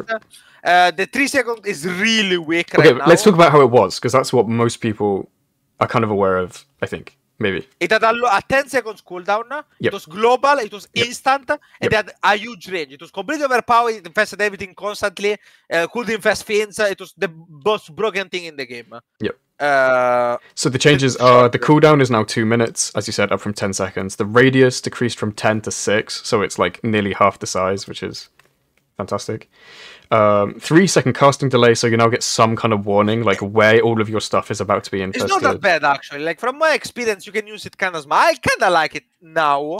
Like, I Yeah. think it's way better than the previous version, but I still Yeah. don't like the ability because I don't like Infest at all. I hate Infest. as well. Yeah, it's just free. Uh, But let's talk. We'll talk about that. I think when we get to the gaunts or the fiends, probably. Yeah. Yeah. The Shadowstone Manifestation is the next one. No, Mhm. uh, yeah, Yeah, I think it is yeah, yeah, yeah, for sure. Uh, this one uh, basically spawns a big tower in the range of another shine of a tower. Uh, it, for 30 seconds, the tower full is has four times the DPS because it's double damage and double attack speed, Mhm. and it has a two minute cooldown. Uh, I don't like this. This is mostly used in cheese. Uh, when you're getting all Lind, uh, usually if you don't have enough units, uh, you die anyway. Uh, the problem is in Infernal versus Infernal, if you drop this, your opponent also drop his because you can use it on the enemy creep. So it's Oh, I didn't even know that. I didn't know like, you, just- it was you could cast on other people's it doesn't do what it doesn't do what it's supposed to do because it's way too expensive uh, to use it as a defensive tool. And by the time you get that ma- that amount of uh, of Yeah, uh, it doesn't say how much animus. I think it's seventy-five, right? 75, 75. Right. So I Uh, might as well just have spammed uh, spammed the Yeah, reinforce Yeah, think about it this that. way. Even with the nerf, would you rather you have a single turret that does four times the damage while there are big army, or would you rather use L like the the refresh ability either three depending on the nerf or four times or five times actually with Yep. the 15 cost, which allows you if you have the money, which you should have to get because guns are so cheap, to Yep. get 15 guns. Would you rather have one turret or 15 guns? What do you think? It's it's just Yeah. it, it's not good. It doesn't do what it's supposed to do. It's most, but it's really good to when one in two base on links while you're killing your opponent. Then you also spawn this in Infernal versus Infernal, and then it's really really hard to for your opponent. Since you have the bigger army, you have more animus, so you can use it and they can't. It's it doesn't work the way they wanted it. Get this out too. Uh, I like the um, Shadowfall is really cool actually. I thought it was useless, but just way more consistent than um, than Summon Effigy. It allows you to create to create a push to create have 30 seconds which you really have a strong push, but it doesn't feel oppressive from my experience. Doesn't No. actually uh, because of the also- Vanguard death ball mostly. It's a really cool effect and Yeah. feels great from both sides, in my opinion. Like as the Vanguard, you're like, oh, this is like real. The entire map is dark Yeah. and smoky. And as the Inf, you're like, okay, cool. Now I've got like momentum. I can go. Yo, Okay, Dragon because we're out of the 10 minutes. oh yeah, Nobody likes the, nobody likes the dragon. I don't know why it's not like the tier three unit, but it's a spell. Uh, the animus cost decrease is kind of nice, but the problem is that it gets one shotted by Hornet uh, or by Shadow. Fiends. Uh, it's basically a skill check. If your opponent doesn't have anything, you get one very good fight, uh, but it also costs so much. It's just why? Just why? I think one of the biggest problems with the dragon is it's really good if you, the Vanguard has no anti-air. If they're just playing Lancer, Medtech, Vulcan, they can't shoot the dragon. The bad doesn't thing for the Infernal is they suddenly realize they have no anti-air and they immediately make two hangar bays and immediately start pumping Hornets. And now they have anti-air and they have Hornets, which you didn't even want them to have in the first yeah, place. this, so this is the joke It's actually baits them into making Yeah, yeah, this is the units. joke that I made. I said the Spriggans and Dragons are awful because not only are they bad units, but they also bait your opponent to making Hornets, which are great units. So it's uh, it truly is the ultimate bait, uh, and that is, and that's it. That's what I, I hate those. Yep. I hold the spells need to be reworked deeply. Fellog, uh, health decrease, damage decrease. This is really, really good. Uh, fuck mid farm rushers. I don't care that it nerfs my race. This was toxic as fuck and needed to be removed. Be- well done. I haven't seen a single mid farm rush in the entire game, so it Yep. must have. Yeah, I think it's dead. Yeah. Uh, Inflame now only activates on one unit if you have multiple imp selects. Holding down the hotkey will activate multiple times. This is the same change as Brute. Uh, I don't like it. I know what was made. It was made to prevent you from accidentally inflaming like 50 uh, brutes. uh, So 50 imps or splitting 50 brutes, but it also means that if you want to split 50 brutes, it takes forever because even holding it down is not that quick. Uh, just Could Okay. they fix this by putting it on two different hotkeys? You could have a Yeah. hotkey for split one and a hotkey for split all. Yeah, the same honestly a think hotkey for flame one versus flame one all. Yeah. Yeah. I don't know. The change isn't super impactful, and they haven't changed anything else about flame one. cost increase from 100 to 150 supply cost uh, increase from 2 to 3 uh, i don't like this and more importantly they always drop two fiends on that even if they didn't cast uh, even if you didn't, Didn't uh, make, it, manually. make it manually uh, okay i think this is the most uh, important change that we can talk about for the rest i don't like this i have the completely opposite opinion of bonko in this uh, Monk says that the problem was that you had Yeah, always let- 100% or 0%. Yeah, we can read that. I might just power read that post really quick because our producer power prepped it. it. Let me read this really quick. This is from Frostmonk. This was on uh, Reddit, on the Stormgate Reddit a little while ago. He's replying to a comment which says, Really disappointed by the brute changes. Having to manually pop each brute to spawn fiends felt like one of the best mechanics in the game. Now, I would probably agree with that. Monk says, We made this change because the previous iteration of the brute slash fiend mechanic felt extremely binary. 100% benefit versus 0% benefit equals 100% difference, due to how much of the brute's power was gated behind whether you could hit the Z button on time. He would say Z button because he's American. We found this approach to be extremely unfriendly to newer players, especially as a core mechanic on a tier 1 unit. Many playtesters internally could literally not play our game because the early game was balanced around this mechanical skill check. This is not the direction we want to head towards for an approachable game. Instead, we want the skill expression of this ability to be focused on the decision making, i.e., when you decide to split your brutes, rather than if you can split them in time. We considered a few options to address this, including on death you gain one fiend. Therefore, he says 100% versus 50% benefit is therefore a 50% different. On death you gain two fiends. This is 100% benefit versus near 100% benefit is therefore a 0% difference versus splitting manually. We primarily went with the two fiend approach in order to push the boundaries and gauge both feedback and how games played out in this completely opposite direction. Note that you still want to manually split brutes versus Vanguard to deny veterancy. I will say also to note here is you do want to manually split split brutes. That's not easy to say. Split brutes versus gaunts. This is my sidebar because then you deny a fiend spawn if you pop them yourself yeah. versus getting them killed. I don't think either solution is perfect yet. My current thinking is that there's probably an ideal percentage difference in the benefit you gain from the skill expression of hitting the button at this ideal level if it's not an instant loss if you don't engage with the mechanic, but you do feel a reward for showing off that skill. My gut is that the number is probably in the realm of 100% versus 80 to 90% or 10 to 20% difference. Obviously, you can't do that with discrete numbers of fiends, so we'd have to be a bit more creative with this solution. That's the, that's what he said. That's the entire quote. Nothing, yeah. no clip chimping, yeah. nothing. Uh, the only thing that you change is the brutes versus gold. We corrected that because it, it was we he said the wrong thing. Huh? Uh, I I'm sorry, Monk. Monk is gonna be so angry. He's gonna hate me. I love you, Monk. I love you. Please, I want the game to be good. Please, Monk. Someone should just clip a compilation of me saying Monk. Poor Monk. He gets all this shit, bro. I'm sure there are like 25 designers behind him, maybe 20,000. But like, okay. Anyway. Imagine being the one guy that people shout at on the internet. Yeah, he's the David Kim. He's the David Kim. David Kim. Yeah.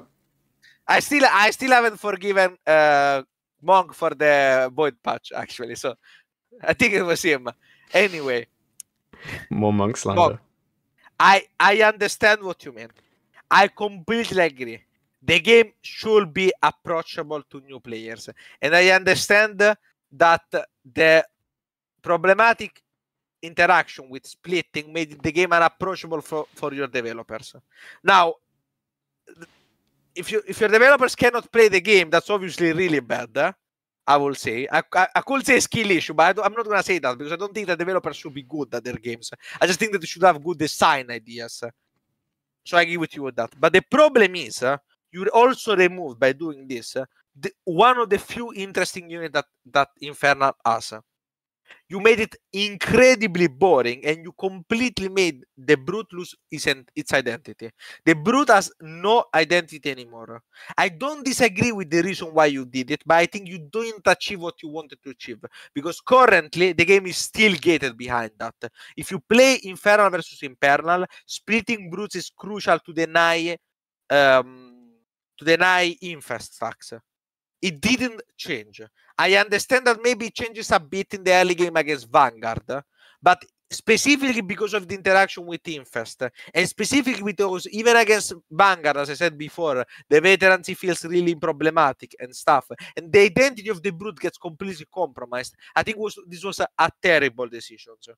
I don't think that the problem with the previous patch was the way the design of the brute was, or rather that the problem that you mentioned about it being too crucial was made by the brute itself.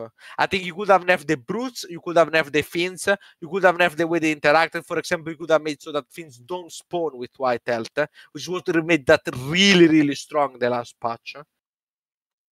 Yeah, I Lilypad, really don't think producer Lilypad says, could you just make them spawn damaged if it wasn't a manual split? That's another thing. I really really, really, really hate this variation of the brute. Brutes were my favorite units. I have clips of me saying how much I like the design of the Brute, how it's an interesting unit that has so many choices. You completely remove the choices. You made the game more unfun for everyone because you thought it was unapproachable for some people. I so, think the game is boring now. To me, especially the, if, wait yeah, one second. Let me, go, let me go, go, go, go. If you have a problem with how conclusive the split mechanic was. Uh, that was a problem with how impactful tier 1 units are in this game and how well they scale. That is not a problem with the brute itself, in my opinion. I think it was exactly the same problem as the Lancer one, as the Hornet one, as the Exo Veterancy one, how impactful it felt to lose small skirmishes. It was the same problem as the camp in the first uh, Infernal Alpha. It was the, the same problem as the Infest versus Infest uh, bullshit fights uh, in the in the previous one.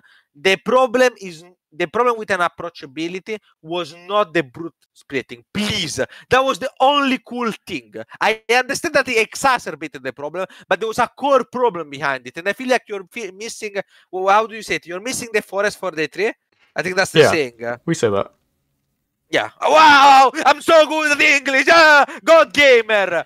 Okay, Let's what go. say is, to me, it feels a bit like Blink Stalkers, where if you have really sick Blink Stalker micro, you can do it infinitely and you'll never lose a Stalker, and they're, you know, you get 300% efficiency maybe out of them. But then, even if you are in gold and you do a little bit of Blink Stalker micro, you feel like a legend and you still get some efficiency out of them. It felt great. It was so good. Yeah. Whereas now it's so well designed. I, I, I don't even see people manually splitting them to do like fiend plays anymore.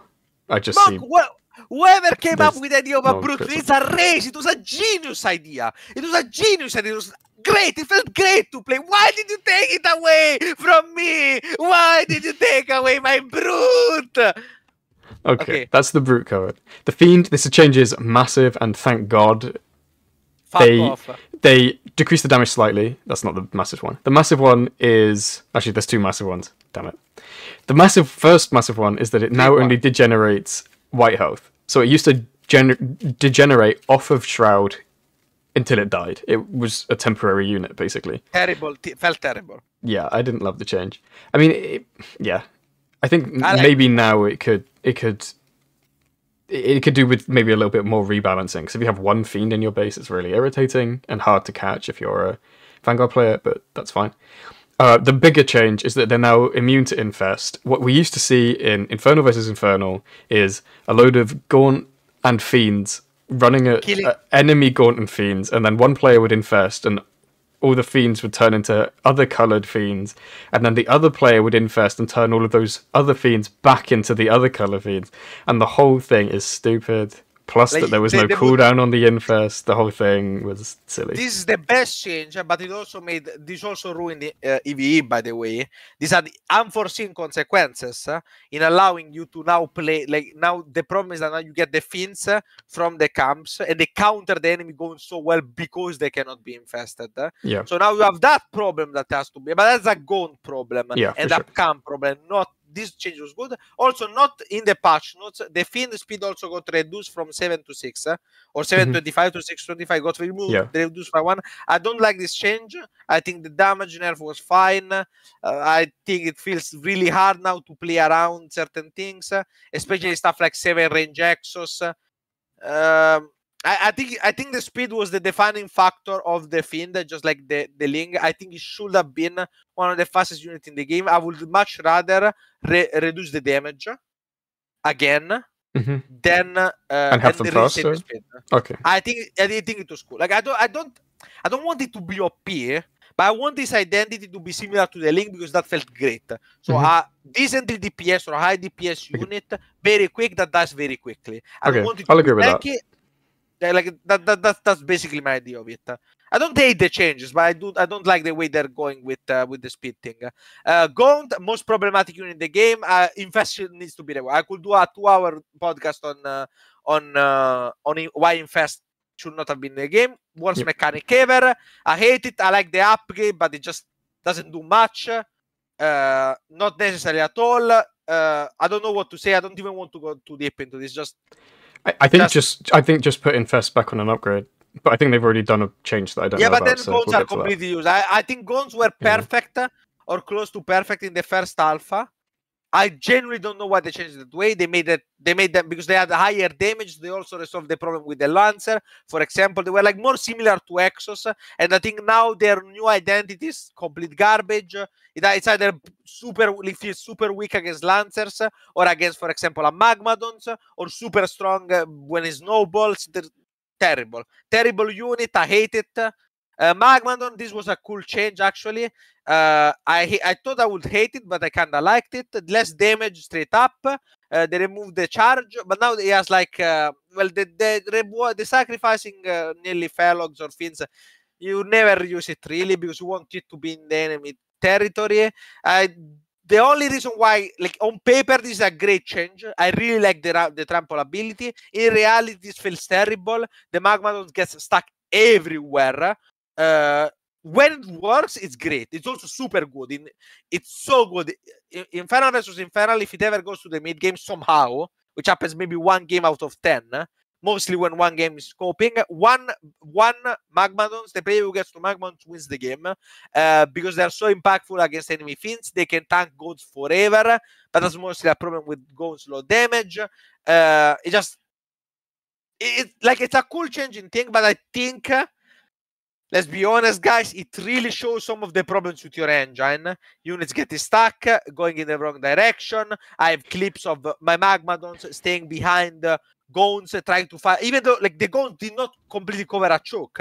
The Magmadon's pathfinding just couldn't go around them. Yeah, it's really hard to split because so like in StarCraft, quite often you want your let's say Marauders in the front and your Marines in the back, or your Roaches in the front and your Hydras in the back, and you can just control click one of each unit and then send them like that, do the crisscross, and they'll they'll figure it out. In this game, your gaunts are always in the front and your magmadons are always somehow like just not where they're back. supposed to be and the trample yeah. helps because it pushes friendly units but because gaunts push him, push them out because they they're just terrible and uh, I will notice it because I got so annoyed by this. Uh, I got so annoyed by this detail. When I played the Monk was watching me, eh, he mentioned how I had used all of my tramples immediately, eh, while my ultras were still like my magma was still stuck. Eh, so I didn't get a lot of the damage. If I had used them sparingly, I would have won the fight. And then when I comp and when I in a separate not by monk by the way, it's not in a separate instance, I've been told that units get stuck. I've been told to trample while they're behind so they can go through. So which one it is? Either you want trample to be the way you go through units, or you want it to be the way you deal damage. Because the ability is limited and you can't use it both ways. Either change the trample or fix the movement. Probably fix the movement, honestly. So yeah. But good changes. Great idea on paper. Great idea on paper, terrible feeling in reality. Shadowfire changes completely irrelevant. I did not notice any change. I'm gonna be honest. I literally could not tell you what changes. They do the same job very well. Nice. Uh, the health increase is only relevant because of the mines of the evac. Uh, Doombringer, Doombringer is the dropship for. Uh, yeah, it's a dropship for, from. Uh, good changes. Uh, I like the fact that it comes from the conclave again, and it requires uh, a greater, uh, like uh, a greater shrine. Yeah, I think. It, I think it might still be a slightly too good in Infernal versus Infernal, but even in Infernal versus Vanga. But I think once again, it's not really the thing that's good. Is that the Gaunts are OP? Uh, Gaunts drop are OP because Gaunts are OP. Uh, Weaver still useless. I don't don't get me. Got this is the most weird unit. Remember, you don't understand. It has thirty less health. This is a big change. The 30 less health over 750. It can tank six more gun auto attacks. That's like what? Wait, let me. What? That's like two percent more uh, less health. Like what is this? Wait, uh, I can check really quickly. I'm a mathematician, by the way. You can tell from me doing. This is uh, four percent less yeah. health. Four percent less health, thirty out of seventy-five. Uh, that's nothing. It's uh, the weirdest change ever. Uh, the... And this, the other change, the weirdest yeah. change ever. It now has like... zero auto attack damage, but it deals five percent, no, ten percent of a unit's health, five percent of a structure's health. It never attacks. This thing is so slow. If it ever auto attacks, it's buy a lottery ticket. You know, it, it ah, doesn't happen. Yeah I think this has to be reworked. This unit is currently one of the worst in game. Feels terrible, super clunky to use. I hate it. Uh, mid farm got increased and also slide, but this this is to mirror uh, the um, depot change. Mm-hmm. Shroudstone got slightly uh, nerfed in the damage, slightly increased from the shout. I'm fine with that. Yep. This is mostly to fix Inferno versus Inferno. Well, uh, Shroud Rushing was popular. Twilight Spire uh, now needs uh, Iron Vault or Conclave, but this I think is a good change because it allows you to get. Uh, Yeah. Uh, yeah, do it. Anti air. It Yeah, there are there are times where you have you no anti-air. tier two, and you need Yeah. a spire. Yeah. uh, mostly because of Hornets. uh, Let's Yeah. be honest, and and actually drops too. So I think this is a fine change, even though it Yeah, I takes forever to build one. Uh, Shadow Cleft and uh, Ritual Chamber, they just the tech three changes mentioned. I don't really have a problem with them. Uh, yeah, this has the Magmadon upgrade. I think it's a good upgrade. I think there's yeah, not it's good. It's ever really really a reason to build a ritual chamber, as far as I can tell. I mean, the Reaper Rush ability on paper and the, inf- the Infuse ability is kind of good, but like the sorry the inf- the the Imp ability can be good, but Oh yeah, okay. In the late game, you need the imp ability. Yeah. Okay, we finished doing that. Yeah. are oh, okay. We're out of time. Two hours in. Okay. Uh, So, so now we need to talk about the new changes that just dropped like two minutes Yeah. before we were starting recording. So I was setting up. I haven't seen these. So, yeah. Yeah. Some bug fixes, which is nice, and thank you means a lot. um, it you know the the whole point of playtesting is to find the bugs, right? It's the whole the whole point is to yeah, that's all. say, you know, not just like what um what we think is OP, but like what we think is um yeah what actually breaks the game. Uh, performance issues, AI issues, that sort of thing. It's always good. Okay, I'm reading these for the first time. Hornet anti-ground damage decreased from yes, sorry, from 14 with seven with a bonus seven against light, so 21 damage against light to 10 flat.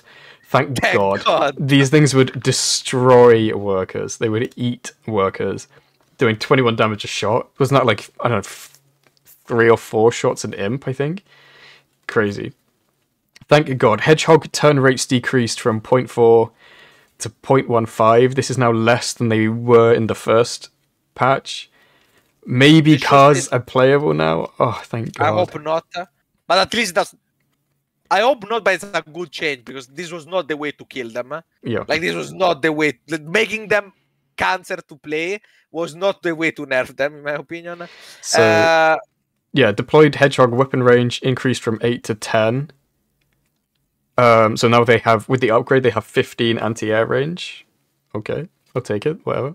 I don't think that's super relevant. And deployed hedgehog recharge time decreased from 0.9 to 0.6. So again, these are for when it's in turret mode. Pretty irrelevant for the most part, but fine. They clearly have. There clearly is an issue that they're trying to address. I guess it's hornets. Uh, maybe it's dragon, but yeah, those changes are fine. I might try hedgehogs again. We'll see. Yeah, Earthspawn Resurgence Animus cost increased from 15 to 25. This is a good change. I talk about. Uh, I think the ability should be reworked or removed, but whatever. Uh, Gaunt cost increased from 50, 55 to 50 15. This is also a bended fix. Uh, I don't think it resolves any of the current problem. It's probably make gonna make Gaunt weaker. At least, at least I think this is good for Infernal versus Infernal. I think this might be really problematic for Infernal versus Vanguard because it's already, as I said, I think if you ever get to the death ball, it's over and it's incredibly cancer to play as the Infernal player. So I don't know if like nerfing, like I think there are fundamental issues with the units that are not being addressed here, but I understand that these are small patches. It's a triple in co- cost, by the way. I hope that Infernal Yeah, triple gas play now. cost. So I think Uh, now you'll one, need to uh, put more workers to mine gas in order to keep up with the gas mining. Yeah, I think you need to put two or three instead of one because Yeah. one was over. One was already overdoing, so I think two. Yeah, was well. Two Level one resource camp now spawns a level two spider instead of two level one spider. This is good for Inferno versus Inferno, but also Inferno versus Vanguard.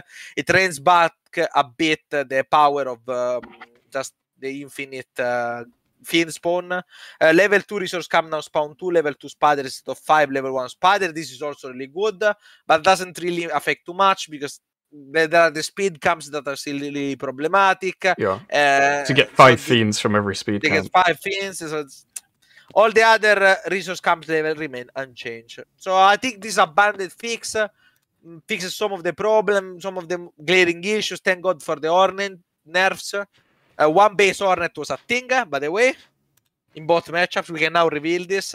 It's not Yeah, so so let's talk now about how we think the meta is going to change, and then who we think might win the Stormgate tournament that's coming up. So I Yeah, think I think one base Hornet hopefully is dead. I, th- I Yes. think with such a massive decrease in damage, it has to go.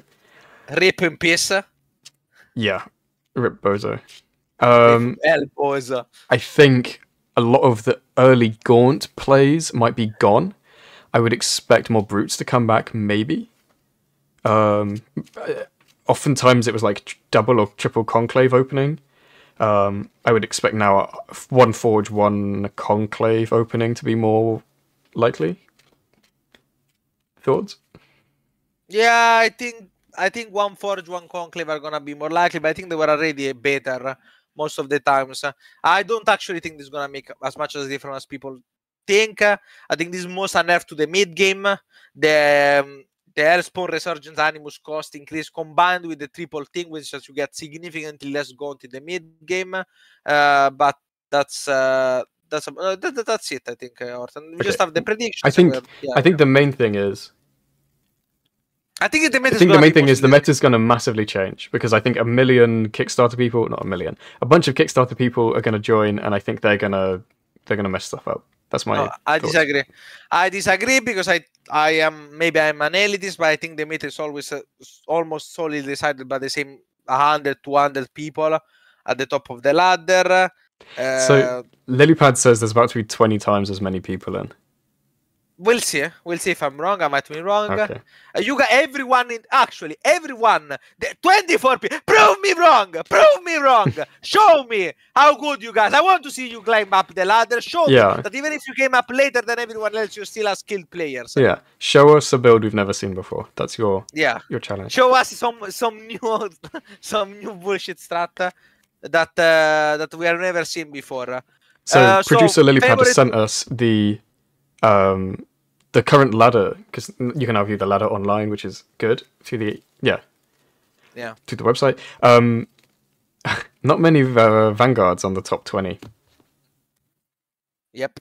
Not many vanguards. I think. Uh, uh, uh, I think that most likely to win if the bans doesn't change are gonna be the, um, of course, the strong uh, infernals. The number one ranked is uh, currently parting.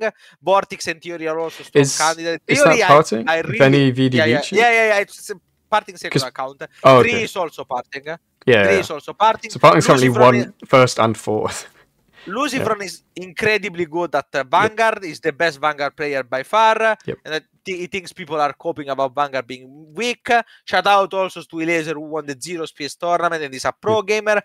Kel, I'm not sure how I feel about. I don't know what he's doing currently. He was a bit Yeah. of a cheeser. Mix is always really strong. Boss is also really strong. Always three, two, one. Let's jump. I have no clue. Kivan is strong. Eric, shout out to Eric. If there's one player who can make a bullshit build uh, with Vanguard, it is Eric at rank 11. And then we have Keras, Oros, Oak, Jardoser. They are they're all strong players, but I don't think they're they're realistic winners. There's no a couple offense to them. people that are between twentieth and fortieth that I think are worth mentioning.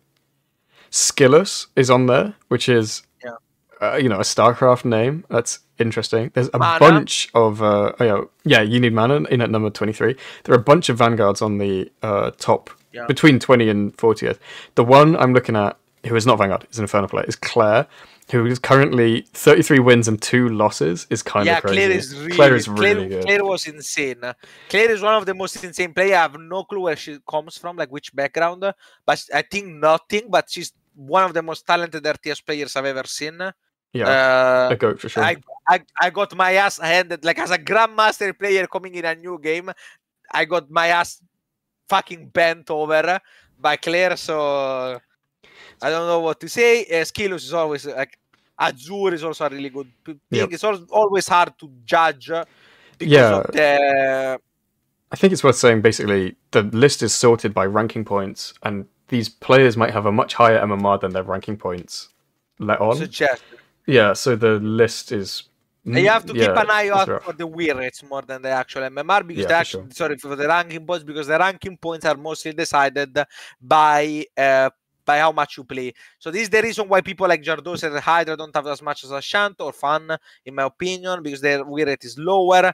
Uh, it's mostly comparable to mine, which is also around 70%, if I remember Yeah. When you compare like that to Vortex, 90% win rate over 62 games.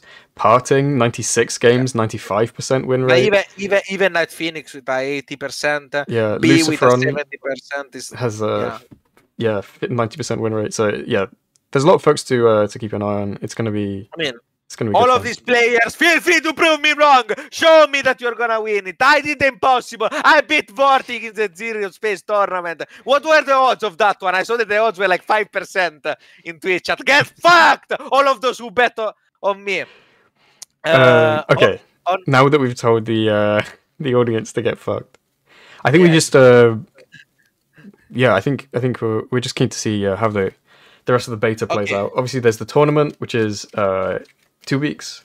Next week is Katowice. Yes. So stay tuned because I'm not sure if we're gonna. Maybe we could do more than than next week. We, we'll see. We'll see. Okay. Maybe for the first ones we could do some more, depending on how how lazy Hart is feeling. Very. Uh, the next one is gonna be about StarCraft and Katowice, but I, I, I will we'll see how much uh, like we'll see how we organize it. We might have a space. We almost surely will have a very. we'll find somebody. it. Yeah, we'll get We'll, fi- we'll find. We, I'll use my deep connection in the deep state to talk about Katowice. Uh, and the uh, the the one after that is gonna be all about zero space. So people are gonna are really interested in my 13 page manifesto wi- about zero space and what I thought of it. I'm a top player in that game too. I, I, I got money from it. I competed in the tournament. I beat Vortex. Say it one more time. I don't think people. I don't think people heard. Say it one more time. I beat Vortex, the biggest upset of my life. Let's go. V- is not gonna. Vortex is gonna be like, bro, what the fuck? This dude is so. like I, it's that meme where it's like I don't even know who you are. I don't even know who you are. Yeah. Uh, stay tuned. I hope this podcast is success successful. Remember, guys, if you don't share this podcast and you make you don't make us uh, successful, there are a lot of bridges in Italy and even more in the UK. I'm kidding. It's a joke. You know there are like five bridges in the city I live in. They're all massive. That's not a threat. That's not a threat. That's not a threat. That's not a threat. No, we, we uh, did you guys know that I left my job, my studies, and everything in my life, and I Yeah. invested everything in this podcast. Yeah, Man, we are full-time. this! We are full time. Yeah, share this to your friends, to your family, to your grandma. Your grandma is gonna love me. I already know it. Uh, Yeah. I think Put it put it on in the background while you sleep, right? Put it on repeat while you sleep. Yeah. Okay. Yeah, yeah. Subscribe, like. Thank you everyone, and uh, see you next week. I love week. you, Monk. Don't get Oh, too love upset. you, Monk. Love you, Monk. Okay. Bye bye. Bye, Lorenzo. Love you.